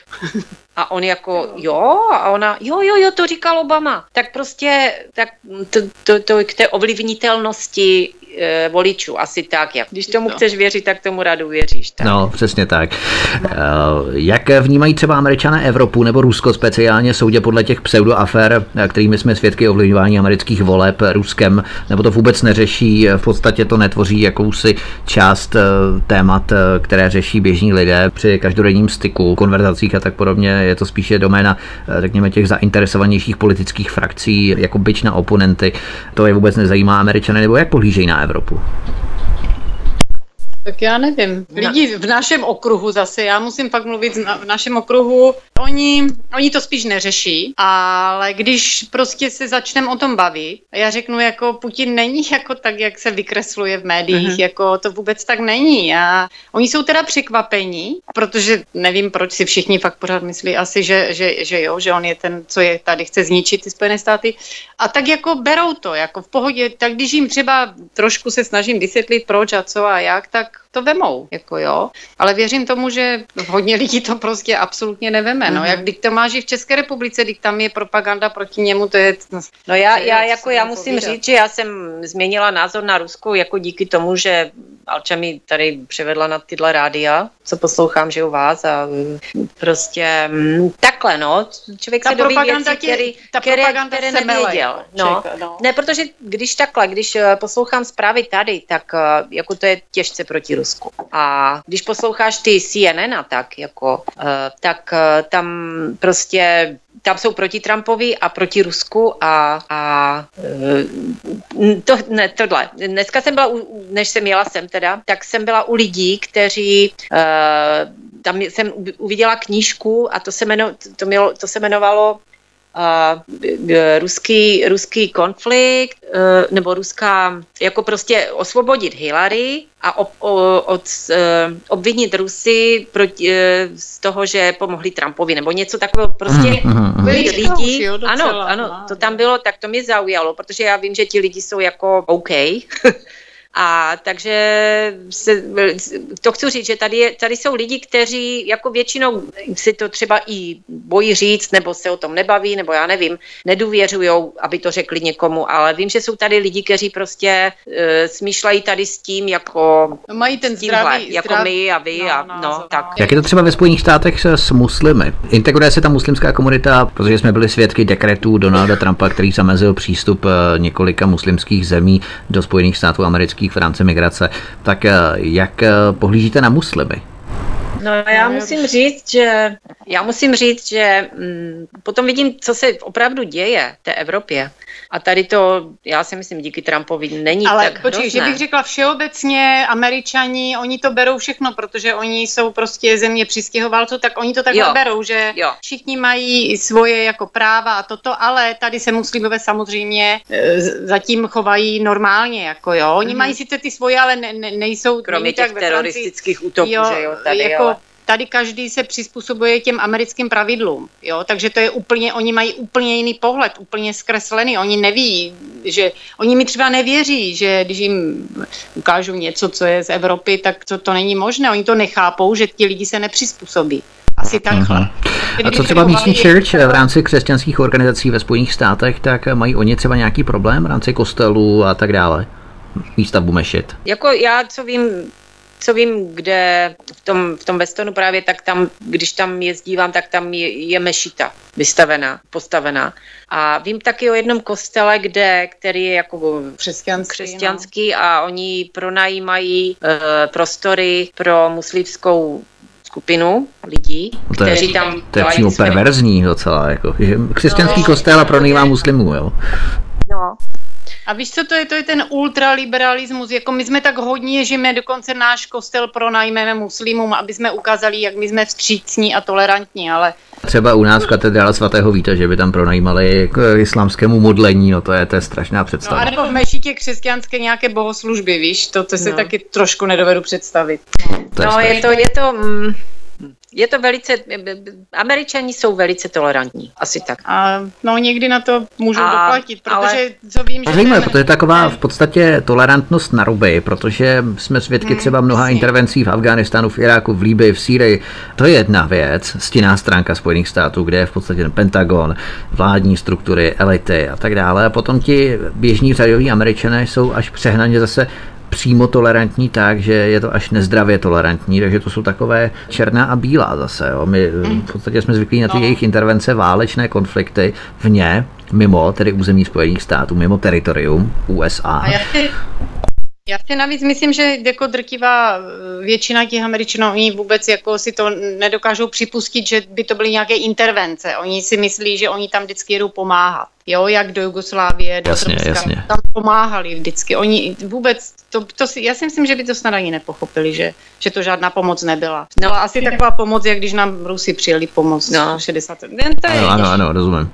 No, já mám ještě jeden takový příklad, jak jsem mluvila o té mm, známé, co už je v důchodu a to, že e, bývala spolupracovnice, tak ona, jak o sobě vždycky, jak říkala to give us good credit, tahle paní, a ona říká, e, když jsem začala dělat tam, tak e, já jsem, protože můj manžel byl rep, republikán, i když se musel jako e, sebe zapřít v práci. Sebe, takhle, no, byl, on byl jako zapsaný jako independent, protože republikán, kdy on byl v Unii, tak to by s tím měl problémy, jen tak mimochodem. Ale, no a ta paní byla ona říkala, jsme se bavili o politice nebo tak něco, ona říká, já jsem proud liberal, jako jo, že je na to velice hrdá. A já jsem říkala, já jako, já jako neobčan tady, že jo, v Americe, tak nemůžu vlastně být v nějaké straně, ale s manželem jsem jako republikánka. A sledujeme to a zastáváme to a tohle. A, ale nikdy, nikdy to ne, nebylo mezi náma jako konflikt, protože my jsme si třeba, já jsem mi řekla, co, proč, svoje důvody, ona zase moje, já jsem mi řekla, jako proč s tím nesouhlasím, ona se mnou. A navíc ona mi říkala, Jarko, ty jsi, ty jsi z komunistické nebo jo, země, navíc když jste byli napadení a tohle, my jste tam měli války a my tady, američani, jsme neměli nikdy válku. Takže já tě chápu, že ty jsi taková jako spíš takové tvrdší zákroky nebo tohle, jako jo. Já, to, já tě chápu, já to respektuju a jako nesouhlasím s tím, ale jako je to v pohodě. No. A to samé já, jako ona mi třeba něco řekla, co je, tak já jsem řekla, no jasně, vy. Ale nikdy jsme se kvůli tomu nějak nerozkomotřili jako tak. Takže ono to jde, jo, ale záleží s kým, s kým, s kým mluvíš, nebo tak. A když se to bavíme o tom, že třeba s některými Američany vznikají konflikty v rámci názorového ukotvení, eh, co se týče přístupu k politice a ideí nebo respektive vizí náhledu na světové události a liberalismus versus konzervatismus a tak podobně. Eh, jak dokážou třeba Američané všeobecně diskutovat o různých tématech, nejenom tady o politice, ale o čemkoliv, protože jejich povaha mně přijde jako všechno vím, jsem nejchytřejší, jsem speciální, jsem otevřený, jsem tolerantní, ale jakmile mi skřížíš cestu, dokážeš, že jsem hlupák, nebo zabereš místo k parkování, jak jsme se o tom bavili, tak tě roznesu na kopitech, budu z toho mít posttraumatickou depresi a navždy zničený život, budu muset naštěvovat svého psychologa častěji než dvakrát týdně a přibrat další pilulku na hlavu k těm třem, co už teda beru. A za to všechno budu soudit tebe, soudit tvou rodinu i soudit tvého psa. To jsem pojel trochu humorně, ale jak je to třeba s psychologií? Spousta Evropanů si dělá legraci z Američanů, že každý správný Američan musí mít svého psychologa. Je to pravda nebo je to mýtus? No, je, já, by, já by, jenom tak za sebe, já bych řekla s lidmi, které znám, je to, je to, není to všichni, jako z našich vrstev, kteří si to tak nějak, máme selský rozum, anebo si to nemůžeme dovolit, ale hodně lidí, hodně lidí, které znám, mají psych, svého psychiatra nebo psychologa. A jak to víš, oni, oni to dokonce řeknou otevřeně, že chodím k psychologovi, není to tam ano. jako eh, určité, řekněme, v České republice předtím je to vnímáno něco jako slabost, eh, jo. že mám jo, jo, jo. tam ne. Ne, ne, ne, ne, tady je to součást života. Asi tak. No. Životního stylu. A takhle, jak jsi to říkal, takhle eh, víceméně jsi to bezal humorně, ale dá, dalo by se to takhle úplně reprodukovat, ale jako taky, zase ne všichni, jo, ale v podstatě je, je to tak, je to tak, no, že jsou hmm. tolerantní všechno, ale, ale, na to, ale na potom, moje, jo, no, když to se dotkneš něčeho mého, tak to jako pozor, no, to ne. A e, já bych se ještě rád vrátil k tomu americkému kultu žvanit za každou cenu o něčem, o čem třeba nemám ani páru, ale oni se učí právě od malinka už e, hlavně o všem důležitě a přesvědčivě rozmlouvat, zakrývat tím jakékoliv své slabosti nebo třeba nevědomosti o tom tématu. Hlavně prostě nepřestat mluvit, sebevědomě vystupovat a být hodně hlasitý. E, je tam hodně častý a typický styl vedení konverzace v podobném duchu? Tak když to třeba vemu z, mm, z, z pohledu, já, já mám tady syna, který kterému je 22. A ty se tam taky zmiňoval o tom sportu v Americe. Jako můj syn, který teďka dostudoval vysokou školu, tak uh, jako mm, přistihnu se, že, že, že se spolu, že, že jako že se začneme bavit a on prostě mele. A já ani nevím o čem pořádně, ale on prostě mluví. Takže mm-hmm. asi máš pravdu, no. Já bych to taky možném. tak řekla. A navíc, že oni neu, ne, neumí konfrontovat nebo neumí vést ten dialog, že hned se buď rozčílí strašně úplně, hrozně a utečou, jo, to jako, ne, vážně, já jsem tady se s jedním známým bavila, on má malé dítě, jo, a já mu říkám, ty, jako jak malá, protože ji dávají do školky, má dva roky, jo, aby si zvykla na děti, což je normální, jo, protože jedináček, tak aby si zvykla na děti. Já říkám, ale dávej, tak sleduj co a jak, že tykom je to takové divné tady s tím, s tou výchovou těch dětí a tak dále, i když tady v Americe si myslím, že to tak není, jak, jak Evropě. v Evropě.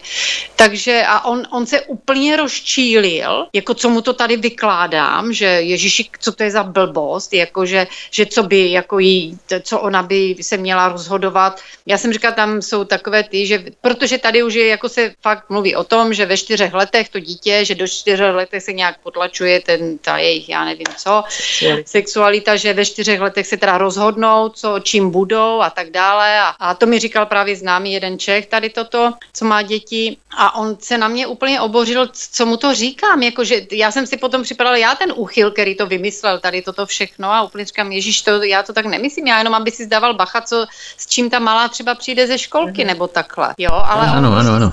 Co tam, nebo kdyby řekl, jako, jo, tak to mě zajímá, řekni mi něco o tom, ne, ne, to prostě ne, protože on má svůj svět, který si vymyslel, jak to bude všechno v té budoucnosti a teď, jak to, a on prostě absolutně nebyl ochoten přijmout, že by to mhm. třeba mohlo být i nějak jinak, že se něco děje.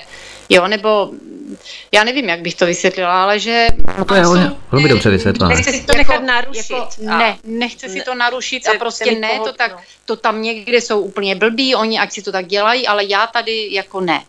Jsou jakoby zapoustřední v té své bublině, v podstatě při střetu s jiným názorem, ta křivka hněvu stoupá velmi rychle z nuly na sto, nikoli v podstatě Přesně tak, tak nějak postupně. No, no, no, přesně tak, jo, je to tak, jo, a to máš hmm. lidi mladí v podstatě a, a vůbec neví jako kolem, na co by si třeba mohli dát pozor, jo? že oni si to nepřipouští absolutně. Já si myslím, že lidi si nechtějí nechat narušit ten svůj pohodlný život. Uh-huh, uh-huh. Jako, že to je hrozba pro ně a to, to se špatně poslouchá, to se špatně uh-huh. Rozumím. přiznává, uznává. Ve Spojených státech amerických je přes 500 televizních kanálů, z toho více jak 50% je sport. Eh, noviny, jak by smet, rádio, jak by smet. Mnoho Američanů tráví více než 50% žvaněním o sportu. Přímo zaníceně prožívají nějaké kluby baseballu, hokeje, fotbalu. Přímo to prožívají, jako by tam hrál někdo skoro z jejich příbuzných. Je to přijde až totálně ujeté, protože nad slaboduchým tlacháním o sportu mohou, mohou strávit skutečně hodiny. Eh, nemáte také takový ten pocit? To, Vítku, pozor. Jo, můj syn je sportovní maniak. a, a má to po otci, který přišel z Česka. Jako ten Ale byl, ten byl, jako ten byl opravdu, no. fotbal, jako je čes, normálně evropský fotbal, soccer, a hokej a tohle. A jako máš pravdu, když si, když si do sportu, tak je to, tak je to jako stoprocentní nasazení. důležité. No, no. Ano, ano, ale v podstatě tam je to jako, co si jako společenský bonton, že člověk musí mít aspoň nějaké základní znalosti o sportu, jinak eh, takzvaně nezapadne do společnosti. Je to tam taky to má, tak moc? To máš pravdu taky. To máš přesně pravdu, protože tady lidi, kteří, když se třeba mají na pády nebo něco a teďka zjistíš, že tam je člověk, který je třeba, řekněme, baseball fanatik, jo, tak ten člověk, který v životě se o ten baseball nezajímal, chlapi, že jo, ženský mi to jedno, tak, eh, tak jde, jako si to vygoogluje a vygoogluje si, aby mohl mít nějakou konverzaci s tím člověkem, s tím hostitelem nebo tak, nebo prostě s chlapama, aby si mohl pokecat o, o baseballu. Jako to, je, to máš přesně pravdu, to je pravda. Hmm. Víš, to, to, je, to je zajímavé. A o čem ženy tak eh, povídají na parties, na barbecues? Uh, nejenom tady o těch receptech, weather a tak dále, ale třeba nějaké další, nějaká další témata, jak hovoru na, nacházíte. Když se zeptáš nás dvou, tak je to o politice. ale to není normální, to není. No, ne, jako i když je. No, ale... ale co tak, o, co o děte, tak... no, dětech, o ano, dětech, děti. o psech a kočkách. Jo. Jo, jako členech rodiny a takové ty banální témata, no docela. Mm, jasně, jasně. Ale na, témata, na které se nemusí googlit, ale. no to ne, to ne, to máme jednodušší. Jasně. A co třeba smysl pro humor? To jsme se shodli s většinou amíků opět tady v Praze, které znám, možná proto jsou právě cestovalejší, že ve Spojených státech panuje absence jakéhosi sofistikovanějšího humoru, sledování Comedy Channel, velmi bolestivý zážitek. Jaké je to vtipkovat, ale zase to asi záleží na splynutí s komunitou.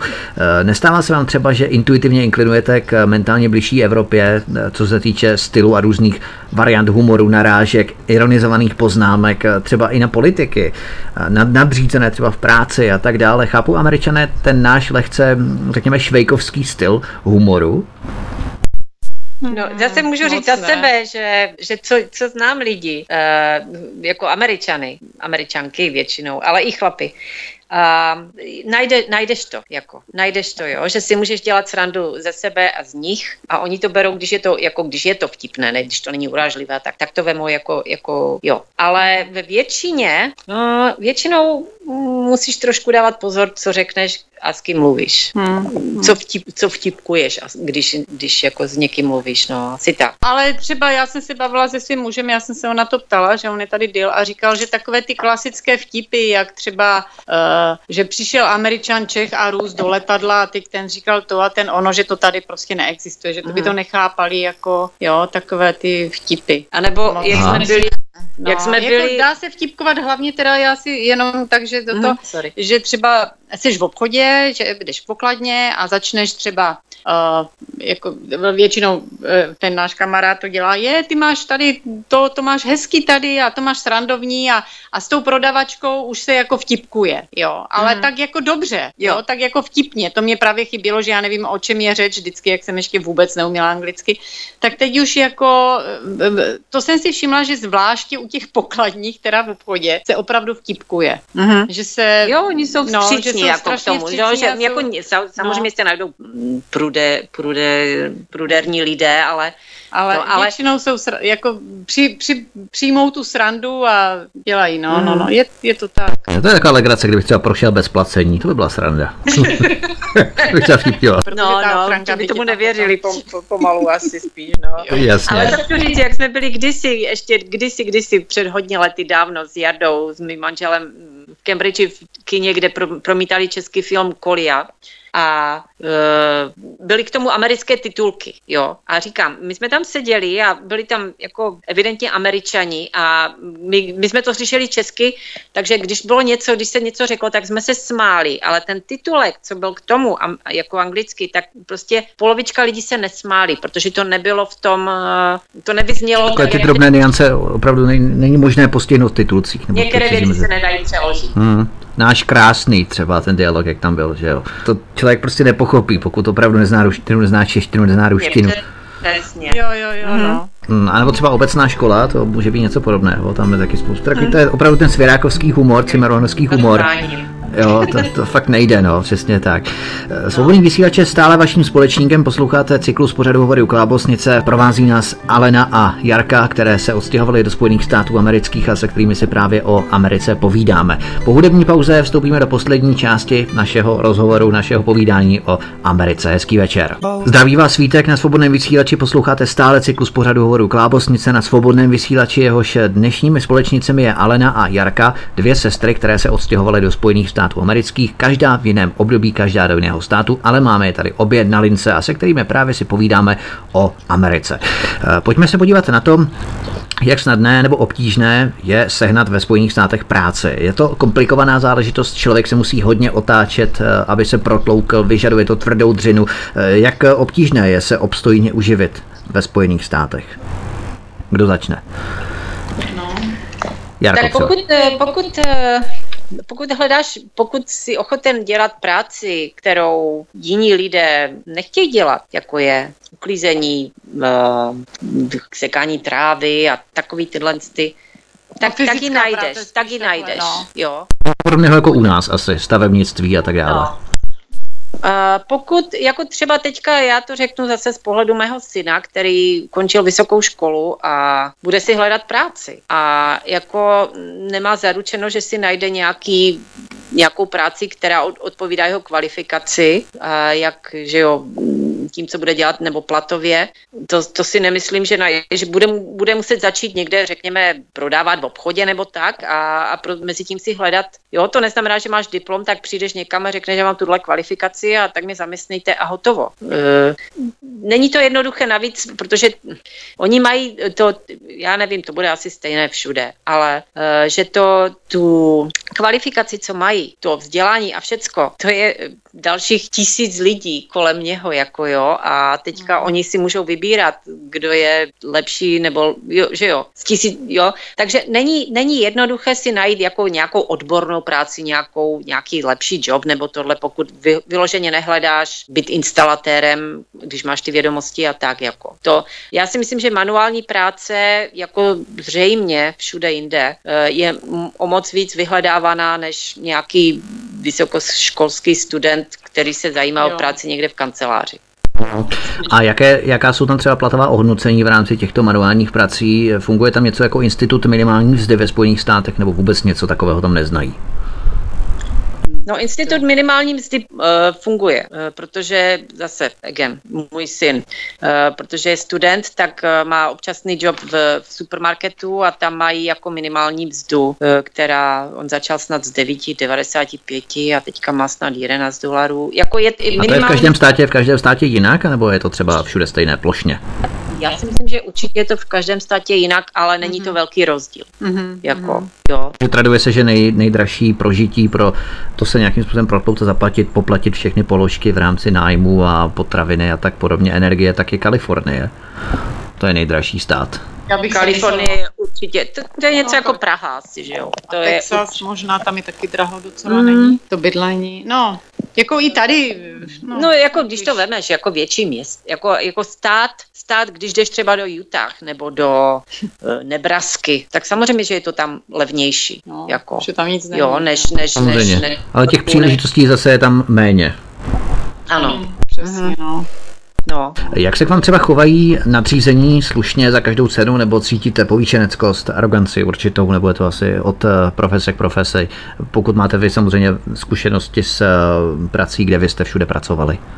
Tak co, co já mám za zkušenosti, tak, uh, tak mám zku, asi tak uh, můj úplně nadřízený, se ke mi choval velice slušně, ale potom dalších pár uh, ranků dolů, jako třeba někdo, kdo byl můj supervisor nebo tak, jako o moc dí, tak to nebylo zrovna, ten, ten si tam nějaké komplexy vybíjel. Ale to je můj osobní, můj osobní zážitek, zážitek nebo no. zkušenost. Tak. No já naštěstí ale... mám. Já nemám žádné nadřízené. Když pracuji s mým mužem, tak on je můj nadřízený a on je strašně hodný a To nejhodnější člověk na světě. takže, takže já to mám všechno strašně jednoduché, jako jo, hmm. bych řekla. A co, co já třeba tady mám nějaké úklidy, tak tak, uh, protože na nic jiného jako, no, díky té angličtině a že by se mi chtělo nějak strašně do školy, tak jsem tady si musíš vůbec. obnovit veškerou, jo, jo, jo. veškerou kvalifikaci, co máš z Česka, no, tak kdyby... musíš tady znovu postoupit. No, takže to mm-hmm. už mhm. to líná, jako, abych se přiznala. Ale říkám, no, je to, ale vím, co mi třeba můj manžel říkal, když on si dělá sám na sebe, ale když měl, měl šéfy někdy nad sebou některé, takže Taky, záleží na lidech. Ano, hodně, přesně. hodně záleží na lidech. Lidi opravdu. se nadvyšují, anebo se dě... jo. No. Jsou přátelští, nebo jsou prostě důležití za každou cenu, ano. jo, a i kdyby já nevím co. Mm-hmm. Takže Pokud samozřejmě já... někdo se chce dostat třeba na tvé místo, na tvou pozici, tak uh, se tě snaží očerňovat, v podstatě je to úplně jo, stejné jako všude. rivalita, jo, aby to, to je pravda. To jo. Co víte třeba z hovorů s vašimi přáteli, s vašimi známými z hovorů, eh, co třeba atmosféra v práci, je to od profese k profesi, samozřejmě záleží na tom, jaký kolektiv se zrovna sejde. Eh, panuje tam třeba něco jako firemní duch, ráno v 8 se obléknete do firemního ohozu, firemní trencle, firemní triko, nastoupíte do špalíru, zaspíváte si firemní hymnu, abyste cítili svou náležitost s tou firmou a pro kterou pracujete a měli jste radost, že vám byl seslán dar z nebes vůbec pro tu firmu pracovat. Eh, probíhá tam něco podobného? Já teda no. nemůžu posoudit, že nevím. Toto nevím. Co, co vím no. jako takhle, ze, co, co, co se dovídám, tak jo, samozřejmě, že to, samozřejmě, že to existuje někde, ale není to všude rozhodně, jako, jo, jako je to takové dost eh, třeba v takových těch, kdy to není vyloženě o, jako o krk, že ti nejde, jo, že prostě, že když se nebudeš takhle chovat, jak jsi to řekl, popsal, no. popsal tak, tak, tak ztratíš místo a dostane ho ten, co to, to co to dělá. Jako, ne, jo, protože tak... to je třeba to evropanství nebo to češtví, ten švejkovský humor, to bych já hodně třeba bojkotoval, nabourával, dělal si z toho srandičky různě a proto by mě asi moc neměli rádi, jo, třeba z tohohle. No, to je, jako, my to ne, asi nedokážeme posoudit. A my nejsme v těch vý, vý, výškových, uh, takových těch super uh, jobech tam nahoře někde, kde se jedná o velké, tak, tam věřím, věřím, Ale že to tak je. Jako já, tam, já taky, no, třeba musíš, Helena. No, říkala, prostě no, to jako je, je krveříznivé, jako jo. jo. Přesně. Ale to v těch našich, těch našich uh, hladinách, kde se pohybujeme, tak to je takové spíš, spíš přátelské. No. Aha. Pojďme se podívat na další téma které možná tvoří i jedno z témat právě na těch barbecues a parties a to je strava. Trvalo vám dlouho, než jste si zvykli na americké pokrmy a všeobecně kulturu stravování, různé fast foody, burgery nebo takzvané junk food, ty polotovary různé, nebo se orientujete spíše na domácí stravu, domácí kuchyni. Jak je to vlastně s vámi s vařením a se stravováním? Co vám chybí třeba? Mm, chleba. chleba, jo. Ano, to tam vůbec není. Angreš tady není. Jo. No, uh, takhle já... Pardon, já vás především pěstujete si třeba něco sami na zahrádce, třeba v rámci toho angreštu a tak dále. No, my kon- konkrétně ne, protože my na to nemáme takové můj, jo, ale naše kamarádka, která je taky čes, Češka, tak ta má rybíz na zahrádce, myslím, Černý že má dokonce i angreš. Má, jako no, má. Pěstuje si, jako je to, je to možné, no. Já mám strašně, pro, konkrétně já, blbou půdu, jako tam. A, tak já zase ale... to neumím, takže to je... ale jo, dělají to lidi, jako pěstují si tady i američani, jo, jako okurky a rajčata, takové věci, jako jo, třeba můj soused, Mimochodem, já mám jednoho, z jedné strany můj soused je z Libanonu a z druhé strany jsou Indové. Že jo? Hodně multikulty takové, no. Ano, ano, ano. Ale jsou, ale jsou, musím říct, že jsou obojí velice slušní lidi, jako velice slušné rodiny, no. A oni jsou už tam roky, roky, roky, to není teďka, že se tam někde víš mezi těma... Vyskytli, no. no, no, no.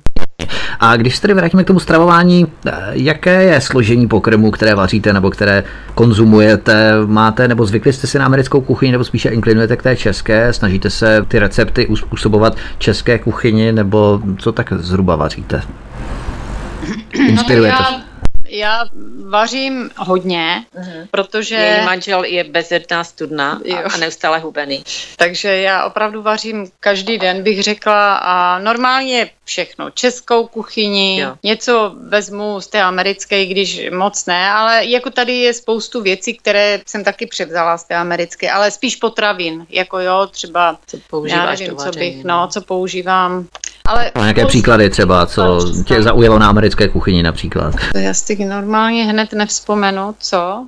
Nebo co jsi třeba včera vařila? Co jsi třeba včera měla k obědu? Tak, zkusme to opravdu Včera jsme měli dietu, počkejte.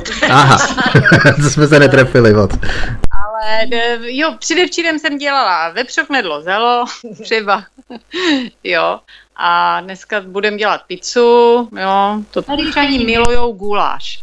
To jsem i v té škole vlastně, jsme si tam říkali recepty, každý měl z té svojí kultury dones nějaký recept, tak jsem nesla guláš, tak to velice zaujalo. Tak guláš je tady hodně populární, ten, ten teda dělám a říkám v podstatě svíčkovou, jako cokoliv, protože navíc tady je strašná pro nás výhoda, že jídlo je opravdu levné. Hmm. Jako jo, tady, tady je to, to není problém, jako jídlo, jo, vůbec žádný. Jak třeba ty ingredience na knedlíky, třeba nějakým způsobem kinout a tak podobně mouka, to je v podstatě v pohodě, všechno se tam dá sehnat. Dá se to. Když, jo, jo, když si to zjistíš, tak se to dá. Já jenom, že chci říct, že já, co jsem si oblíbila velice americkou, i když myslím, že to už je taky v Česku, ale uh, uh, sírovou omáčku, jako mm-hmm. v, v, ve sklí, jako za tom. Uh, no, ve skle, ve skle. No, no, prostě takto, ale, ale taky říkám, jak byl Davča malý, můj syn, tak jsem mu od malička vařila jako takové ty, dalo by se říct, zdravé české jídla, omáčky a takové jako nějaké hamburgery a tohle, to, abych pravdu řekla, co jsem, co miluju, je čínská kuchyně, jako, jo, co, hmm. což jsou tady ty, ale... Taky čínská, tajská třeba. Nebo no, to, to, ale, ale jako hamburger, že bych bez toho, nebo v hranolky, to ani náhodou, jako jo, to, když jsme s Američanema, tak jo, ale většinou mm, zůstáváme u té české kuchyně nebo nějakých mm-hmm. improvizací mezi českou a americkou. No. Když se procházíte mezi regály v samoobsluze v hypermarketu, setkáváte se třeba v supermarketech s hodně polotovary, třeba i oloupané, nakrájené brambory a dokonce se prodávají i oloupané citrusové plody, pomeranče nebo banány, což mi přijde úplně šílené, že si lidi nedokážou oloupat banán sami a kupují to právě ještě dražší, protože to nějaké přístroje oloupou za ně, jo, oni už to potom konzumují přímo už oloupané, připravené. Jo, tak, eh, tak Setkáváte se hodně, takový, je tam hodně takovýchto potravin? Já mám zase, zase, jo, díky mému synovi, který má teda ten uh, job v, v, v supermarketu a on dělá to, že uh, krají a loupe, ovo, dělá takové ty, jak se do, ta, do, do těch plastikových uh, obalů se to dává, uh, ovoce, ovocný nebo Talíř. zeleninový, jako jo, tak on to uh-huh. už dělá, že to je úplně oloupané, zpracované všecko a je to samozřejmě o moc drahší, než když si to koupíš takhle a uděláš si to sám, že jo. Říká, mami, já nechápu, proč ti lidi platí za to to tolik peněz, jako když, když si to můžou udělat sami, jako jo. No. Takže jako no právě, to, no. No, no, no, každopádně lidi, jako jsou lidi, kteří prostě se s tím nechcou drbat, nebo co, jako, že jo, doma. Mm-hmm. A mhm. navíc ta docela hodně typická americká večeře je to, že si koupíš e, tamhle z mražáku někde e, předvařenou, předpečenou, předdělanou tuhle tu večeři v, v, v krabičce no. a, a když, to je, když se to hře, tak je hotová večeře. Jako to je hodně jo. tady. No, no, no, tak no. jako zase musí člověk uh, tak nějak omluvit ty, jak jsou ty busy business women, women and, and men, jako oni přijdou domů někdy v 6 večer a nechce se jim začínat vařit od, od začátku jak my, že to děláme, když jsme dělali oběd a tohle. Asi, asi, asi z toho to vzešlo, si myslím, Jenže, ale... Já si myslím, že to, to je hodně zdravé. i o pohodlnosti, protože taky. znám taky mm. i ve škole pomocná učitelka, která je vlastně v důchodu, nemá vůbec nic co no, na práci a koupí si zmražené jídlo a, a hodí ho tam a, a vůbec jako ani ve snu by nenapadlo, že by měla něco vařit, jo. Ona si neuvaří ani ten čaj vždycky ve škole, to jsme, já přijdu, že já si donesu svůj čaj z domu a ona má ten koupený tam z nějakého toho Dunkin Donuts, nebo jo, jo, jo. to. Jo, a já říkám, Ježíš, já říkám, proč si neuvaříš ten čaj doma? A ona, já vím, víš, ale mě se nechce prostě. No to dělá hodně lidí, že si kupují třeba i balené vody tady, když třeba jdou do práce, oni si neudělají, třeba neschovají si tu petláhev doma, neudělají si do ní šťávu třeba, jo, ale kupují si neustále každý den prostě na cestu do práce vodu, jo, balenou. Ne, ale každý den Nechápu, taky to nechápu.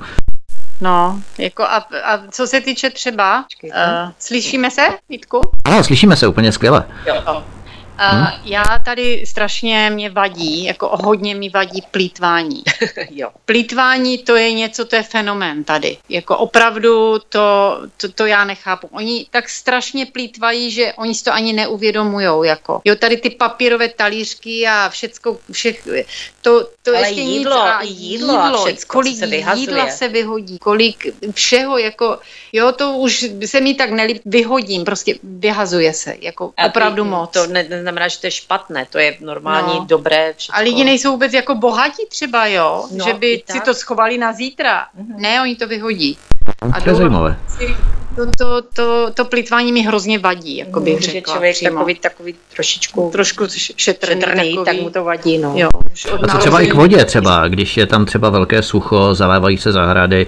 Co třeba voda, jsou tam šetrní třeba k vodě. My tady máme třeba v České republice velké extrémní sucho, člověk se snaží tak nějak s tou vodou šetřit, eh, co to možná jde. Jak se tam chovají třeba?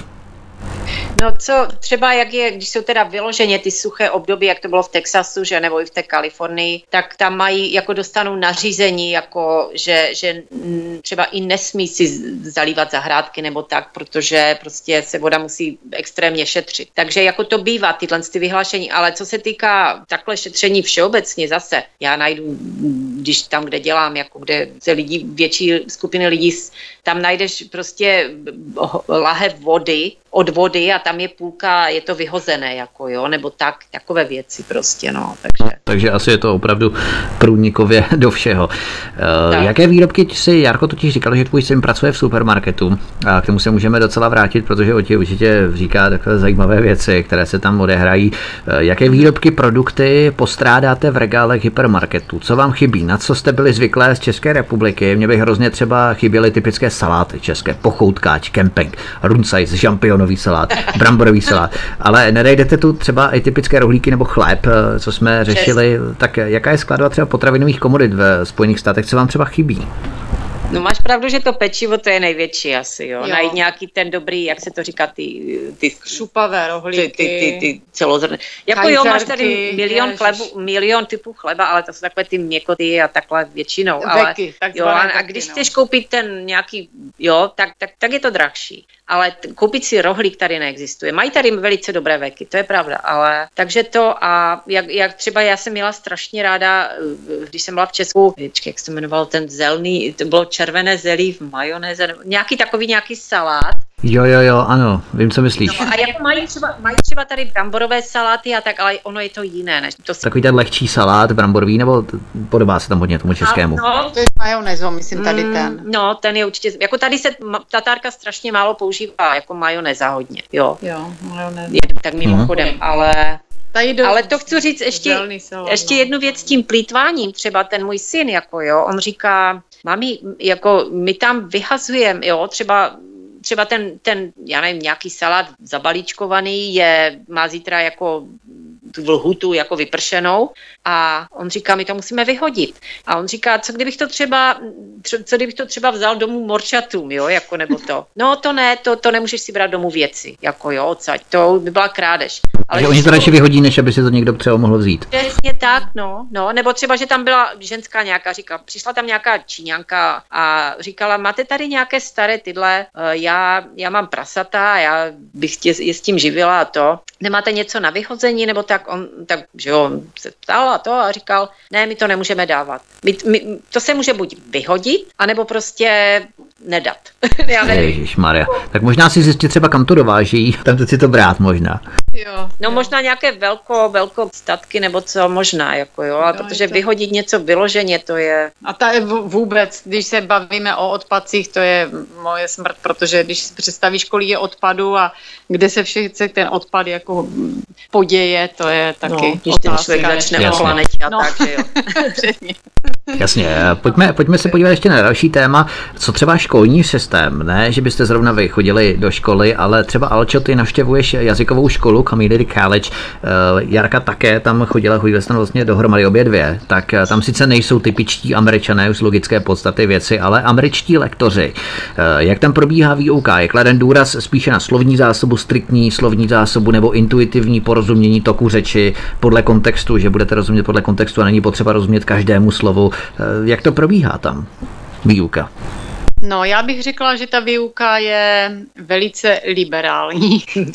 a takhle, jelikož v té škole nejsou jenom Češi samozřejmě, jsou tam různé národnosti, jo, tam, tam je opravdu celý svět v té škole, tam jsou z Iráku a, a z Egypta a z Indie a z Ukrajiny a prostě od všud, z celého světa bych tak řekla. Takže ta, ta učitelka se snaží vždycky nadat nějaké téma, většinou čteme nějaký článek, snažíme se to přeložit, eh, přeložit, přeložit, že do jakého jazyka, ale vysvětlit, o čem to je, když něco máme k dispozici samozřejmě telefon, ten translator, že si to přeložíme, to jednotlivé slovo, a tady tím způsobem nějak eh, je ta výuka hodně, jsme se zabývali i historií Spojených států, třeba cestování a různé takové praktické, bych řekla, témata eh, žití v Americe. Dokonce jsme tam měli i volby, když bylo před volbama téma. A vždycky prostě se dá nějaké téma. Učitelky, musím říct, že tam jsou ty lektorky eh, neuvěřitelně vstřícné a mm, všichni tě podporují, pomáhají ti, povzbuzujou. A to jsem právě se dozvíla, můj muž mi říkal, že tady vlastně to školství je na, na takovém typu, kdy, kdy, eh, když jsou jeden žák horší a jeden úplně skvělý, tak ten horší se bude vyzdvihovat do té výše, nějaké určité, ale ten dobrý se bude spíš jako kdyby snižovat, jo, aby byly na stejné úrovni, jo, že to tady e, tak nějak hodně se propagovalo, nevím jak teď, ale jak on tady přišel, tak říkal hodně, tady ta výuka byla tím směrem. Ale každopádně já musím říct, že co se týče té školy, tak uh, vycházejí vstříc hodně. Uh, dají, dávají nám třeba ty domácí úkoly, ale když to prostě neuděláš, tak řekne, to nevadí, to nevadí, si neměla čas, jako v pohodě. A říkám, ale zase na jednu stranu se hodně bavíme, třeba někdy přijde na, na, na řeč i politické téma, tak se bavíme a Ona mi třeba, já, třeba mě, mě něco říkají, co já vím, že to je úplný nesmysl. A já třeba, já jí třeba říkám, víš, ty jsi, vy američani jste tak strašně naivní. A ona mi řekne, já vím. Začne se smát, no. no. Protože jsme tam měli jednou, eh, ona zase donesla učitelka nějaký článek, bylo to, psala to nějaká Japonka. A napsala článek, jak e, za doby vlastně, to byla druhá světová válka, jak vlastně bylo, e, bylo ty Pearl Harbor. Pearl Harbor a intervence jo, Japonců v Americe a tak.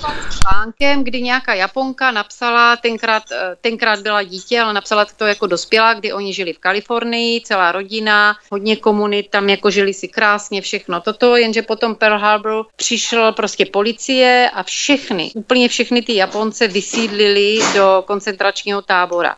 Děti, ženy, vůbec nikdo s tím z těch lidí neměl nic společného, ale všechny prostě vysídlili a museli opustit, tak jak to tam nechali, ty byty, ty domy vlastně museli odejít do, do těch, do těch kampů, tam, do těch koncentráků. A jako ty učitelky, my máme jednu učitelku jako učitelku a druhá je pomocná, oni obě dvě se tak na sebe dívali, přečetli jsme ten článek a oni si říkali, tak ty, já jsem to vůbec nevěděla. A ta druhá říkala, no já taky ne, že Amerika, koncentrační tábor, Ježíš Maria, jako to je hrůza ale už to mě jako zarazilo, říká, tak oni obě dvě učitelky, měly by být nějaké vzdělání i z historie samozřejmě. Síla, no. vůbec nevěděli, oni je o tom prostě vůbec neinformujou.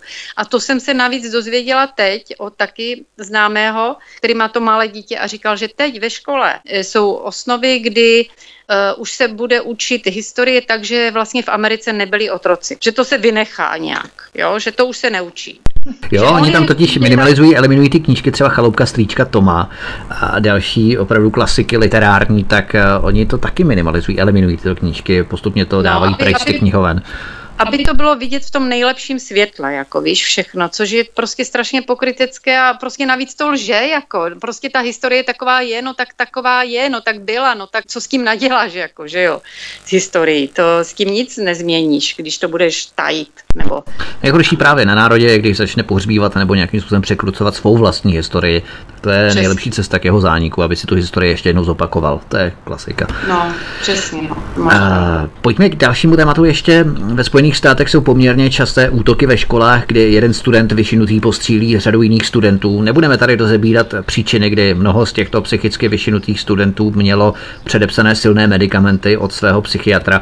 Ale jak lehké je ve Spojených státech opatřit si zbraně, protože stačí řidičák a odchází se z obchodu s pistolí, na pušku se musí čekat tři dny ve státě Texas, protože každý stát má samozřejmě svoje zákony, svoje zvláštní zákony na získávání zbraní, na opatření zbraní.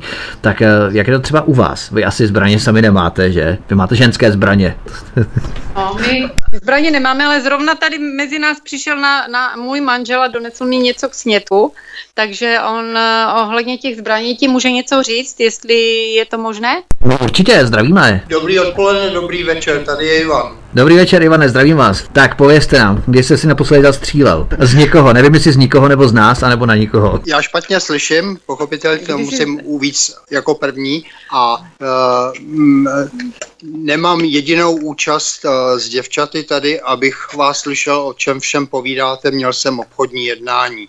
Takže uh, se připojuju a Uh, ohledně zbraní. Ohledně zbraní. Uh, co bychom mohli říct, tak uh, největší rozdílnost, která nyní je v plénu mezi Američany, je rozhodnutí předešlé vlády o tom, že se odzbrojí většina Američanů tím, že se vypustí amendment z konstituce Ameriky a nebude plánován privátní a prodej soukromých zbraní nebo zbraní, které jsou na trhu. E, to se pochopitelně nemůže stát, protože ten amendment se nemůže změnit.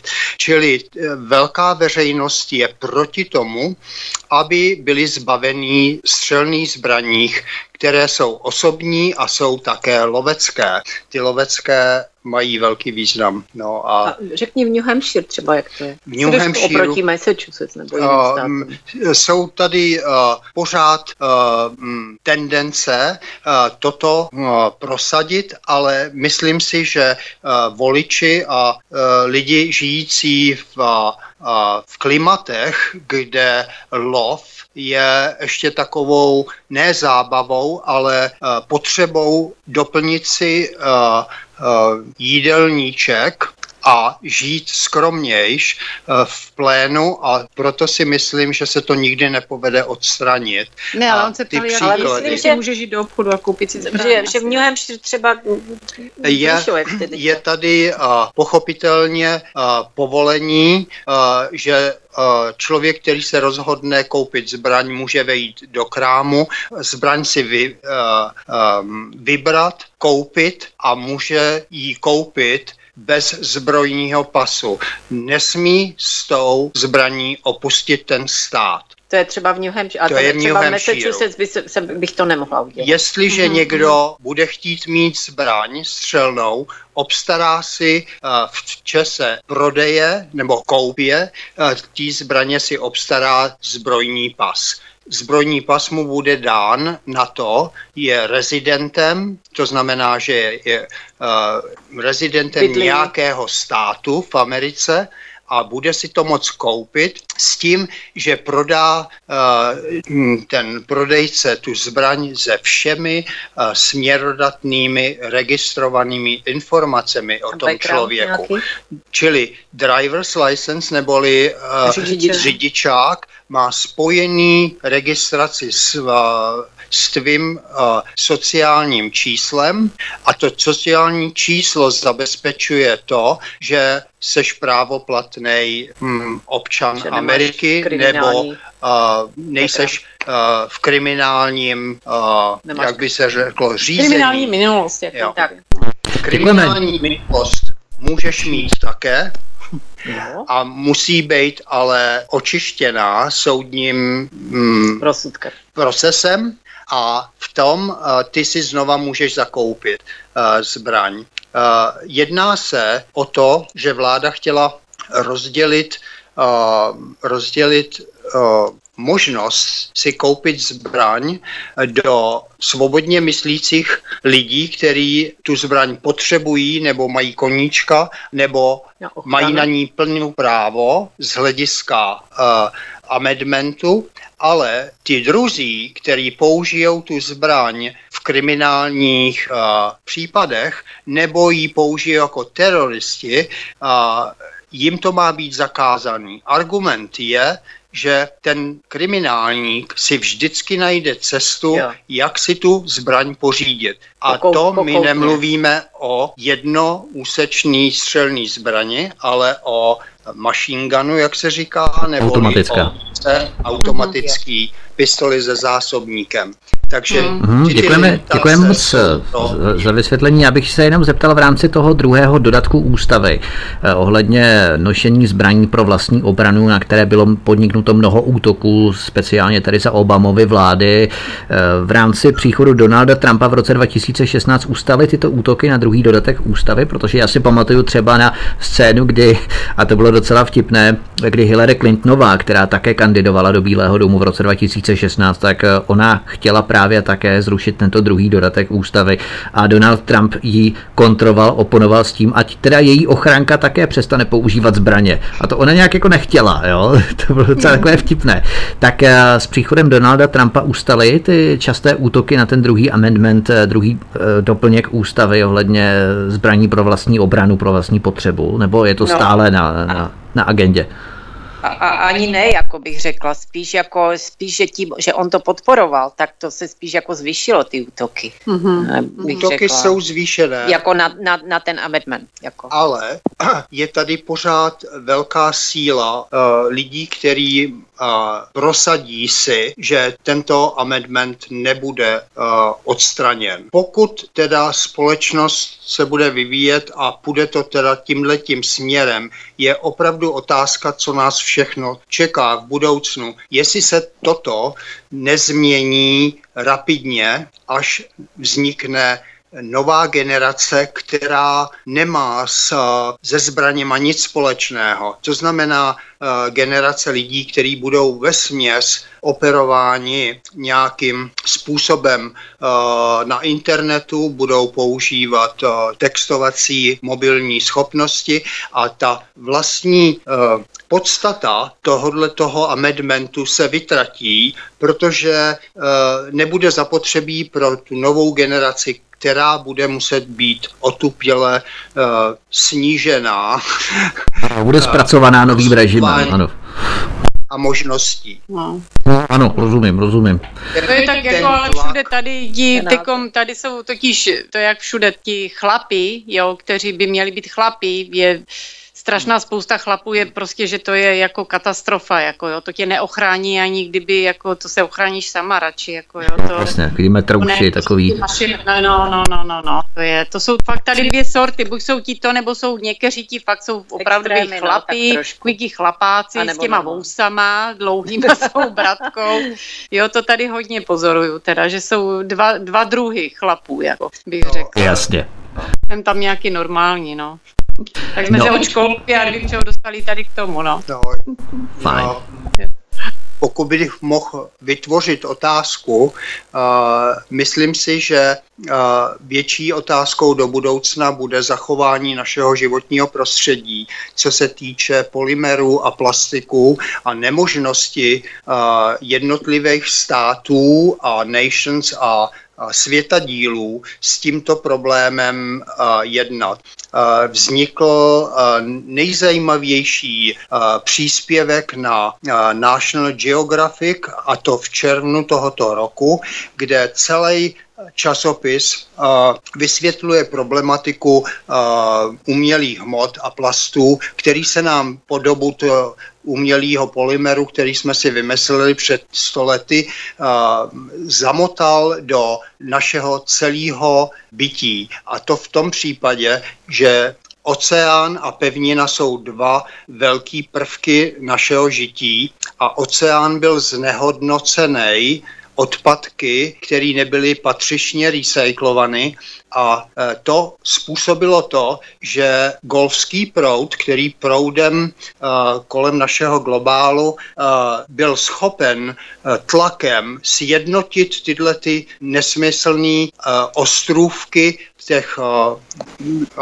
vyhozených plastických kontejnerů a vytvořil plovoucí prostůrky pro ryby, který se musí... Ano, migrace no. prostředí vyvíjet a živit a hm, rozmnožovat. To se dostalo do genetických uh, buněk jednotlivých ryb a my dneska čelíme největšímu paradoxu, protože celý svět jí ryby, my budeme obsahovat jejich uh, buňku také v našem organismu, čili ta už je narušená uh, geneticky uh, plastikem a nemožnost sjednotit tenhle ten názor po celém světě a vytvořit univerzální uh, recyklový systém, který bude uh, kontrolovat a usilovat o našem uh, recyklu toho plastiku, neboli hmm, toho plastiku samotného, jak ho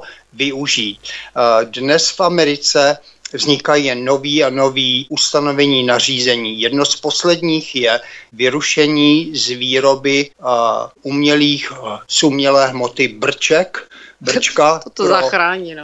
Starbucks, no, to tady taky jsme zaznamenali. No, to, to, to je jako... A můžu, můžu říct, že to je velký uh, item, neboli uh, velký produkt uh, v našich uh, už spotřebních uh, nutnostech a no, lidi uh, mají brčko v každém kelímku, pomalu i v kafi, pomalu i v pivu. To je velmi zajímavé, o tom jste říkal, protože je fakt a hovoří se i o tom, že v Indickém oceáně eh, plave ostrov z plastu, který je velikosti Francie, zhruba tohoto rozměru a je stále více ryb, eh, které právě jsou mrtvé, které potom vyplavávají na pláže, které jsou plné právě těchto plastů. Eh, zaznamenal jsem zprávu i třeba o velrybě, která spolikala 5 kg toho plastu a nemohla to strávit. V podstatě byla vyplavená také mrtvá na pláž. A v Evropské unii také se tady řeší právě v Evropě zákaz nejenom tedy plastových brček, ale plastových petláhví a dalších hmm. plastové, dalšího plastového materiálu právě, myslím, že do roku 2025 mám takový pocit, tady to nevím přesně. Takže ano, to je, to je opravdu velký problém s tím plastem, eh, který se opravdu nepovedl. No, no, no. no. On by se povedl, kdyby se to takhle strašně nerozšířilo. A ale to... lidi byli trošku víc, jo, jo. si dali s tím práci. Taky. Myslím jo. si, že nejvýstižnější uh, článek uh, Movement uh, pro toto uh, jsem se zúčastnil v létě a myslím si, že toto by mělo být a, a, k dispozici všem lidem na celém světě, kdo chce vstoupit na internet a je to pod jednou internetovou adresou a může každý a, vidět tenhle ten program. A, můžeme si o tom promluvit někdy příště, protože a, to bude veliké a, zajímavá agenda pro nás, pro všechny na kterýmkoliv světa díle. Dobře, fajn. Moc vám děkujeme, Ivane, eh, za váš vstup, eh, za vaše vysvětlení a bylo to velmi zajímavé. Moc vám děkujeme, mějte se hezky. Já děkuju. Mějte se také hezky, všichni poslouchali. Tak fajn, to byl Ivan, manžel eh, koho? Aleny. Jo. Ano, abych to udělal pořádek. Tak, který se také účastnil našeho vysílání a který nám pověděl něco o tom, jakým způsobem je možné opatřit si zbraně ve Spojených státech a o druhém dodatku v ústavě, o útocích na něj a samozřejmě jsme tady rozvedli i další téma ohledně plastových výrobků a tak podobně. E, nicméně podíváme se ještě na další téma, jak se vám daří zvykat si na projevy počasí ve všech čtyřech ročních obdobích. E, je to přibližně stejné v Massachusetts, New Hampshire, e, jako v České republice, třeba extrémní sněhové závěje, flurries během zimy nebo nějaké hurikány, tornáda a s tím spojená evakuace. Zažili jste něco podobného? Mm, no, já musím říct, že tady je to hodně podobné jako v České republice počasí. A akorát bych řekla, myslím, že ty zimy jsou, ty závěje tady, ty sněhové, eh, jsou větší. Jo. Jsou tak silné a jelikož tady třeba ty elektrické vlastně dráty nejsou pod zemí, ale nad zemí jsou to tady ty klasické, že jo, tak to kolikrát tak, eh, na ty, když to na, na, napadá na ty stromy, ten sníh je to těžké, tak to spadá a jsme třeba bez elektřiny. Já vím, že můj bratr tam je třeba tři dny bez elektřiny, jako jo, doma i díl, kdy má vlastně na, na tom je závisle všechno, tam je voda, teplo, prostě všechno, jo. Je, Ale třeba zvykem mít třeba vlastní generátor právě důsledkem těchto výpadků elektřiny, třeba, že člověk má vlastní generátor, který no, drží. Lidi mají, my třeba máme, my jsme taky měli výpadek, byli jsme myslím dva dny, takže my máme generátor, takže to se dalo v pohodě přežít, ale, ale e, někdo nemá, že jo, když bydlí v nějakém malém kondu, tam tom kondominiu tohle, tak nemají ty generátory, tak to tam teda jako, když máte zimu a ještě k tomu bez teplé vody, tak to jako, to jako, nevím, no. A, Asi krp vůbec. Je, je dobrý mít. No, to taky není jako úplně, že by každý měl krp. Jako my máme třeba kamna na dřevo, jako, což je taky fajn. Jo. A co třeba tornáda, hurikány, je to spíše asi doménou jižnějších států, než jste vy, než je Massachusetts nebo New Hampshire, na Floridě a tak podobně, ale setkali jste se no. s něčím podobným? Tam máme taky známého, jsme tam byli, uh, že bylo to tornádo, jak bylo letos to bylo? Letos. Letos nebo loni? No, tak byla tam evakuace samozřejmě a nevím přesně, jak to probíhalo. Říkal, že jako první byl hrdina, že kašle na to, jak jde na nějaké školy se evakuovat nebo tohle, ale nakonec šel, protože to bylo. Ale některých částí úplně stejného města se to třeba nedotklo vůbec a něco to narušilo něco, jo, ale taky jedu, je, je, kde tam žiješ. Jo, někde je to. A oni právě si zjistili, ti naši známí, co tam dali ten eh, post, eh, teda koupili dům, že to je přímo Englewood, že tam jako jsou minimálně ty tornáda. Minimálně v minulosti a je to jako pravda, že jako něco to tam trošku střecha nebo se narušilo, ale že by se zbořily celé baráky, ne. Ale, ale, ale je to tam jako, jo. Tak eh, pojďme k poslednímu tématu. O Američanech se traduje, že téměř nikam nechodí pěšky, že nemít v, ve Spojených státech auto, jako byste skoro neexistovali. Je to mýtus nebo realita? Je to realita, Vítku. Jo, je to realita. Já jsem si to uvědomila kolikrát, když třeba eh, jsem takhle doma, nebo to říkám, Ježíš, já vůbec nechodím. Já vůbec nechodím. Tak já třeba, já, já tomu říkám umělé procházky, že třeba jedu někam, tam se jdu jako projít a zase jdu zpátky, nebudu schválně do někam dál, než, než dojedu jenom do... Jo, jo, rozumím, rozumím. Jako jít, chápeš, jo. Ale jako je, já si myslím, že je to problém tady s tím, jako lidi se, když, já vím, jak u nás doma. Jsem šla prostě ven, jsem si šla projít, ale tady se jedeš projít. Že musíš někam zajet, aby se šel projít. No, tak a hodně lidí prostě na tady toto úplně kašle, nebo si to neuvědomí, takže nechodí tím pádem, jako tady těch obezních lidí je šíleně moc. Jako a co třeba, třeba cyklostezky nebo něco takového, na co jsme zvyklí třeba v Evropě, to tady neexistuje ve Spojených státech. Jízda na kole třeba po nějakých vyhrazených cyklostezkách. Existuje. Jo, existuje. Tady jako tomu se jako dává, jako kdyby zelená, jo, tomu ježdění na kole. I navíc i na normální cestě tady máš mnohem širší ty cesty, jo, tam máš ještě ten pruh vždycky napravo, který je vyloženě pro cyklisty. Navíc tady cyklisti můžou jezdit i do protisměru, což je jako, já si myslím, že bezpečnější. Já takhle jezdím, protože to auto vidíš, kdyby něco, že můžeš uhnout, jo, nemáš ho za sebou. Prostě při stavbě těch silnic se na to už přímo myslelo na ty cyklisty, na rozdíl tady od tak, tak jako je odbočovací pruh prostřední pro auta, který někam odbočují, jak za tebou není milion aut, nestojí, tak tady na toto taky. Jako je pár cest, kde jako to nemáš, ale v podstatě je to tady pravidlem, že jsou mnohem širší ty cesty.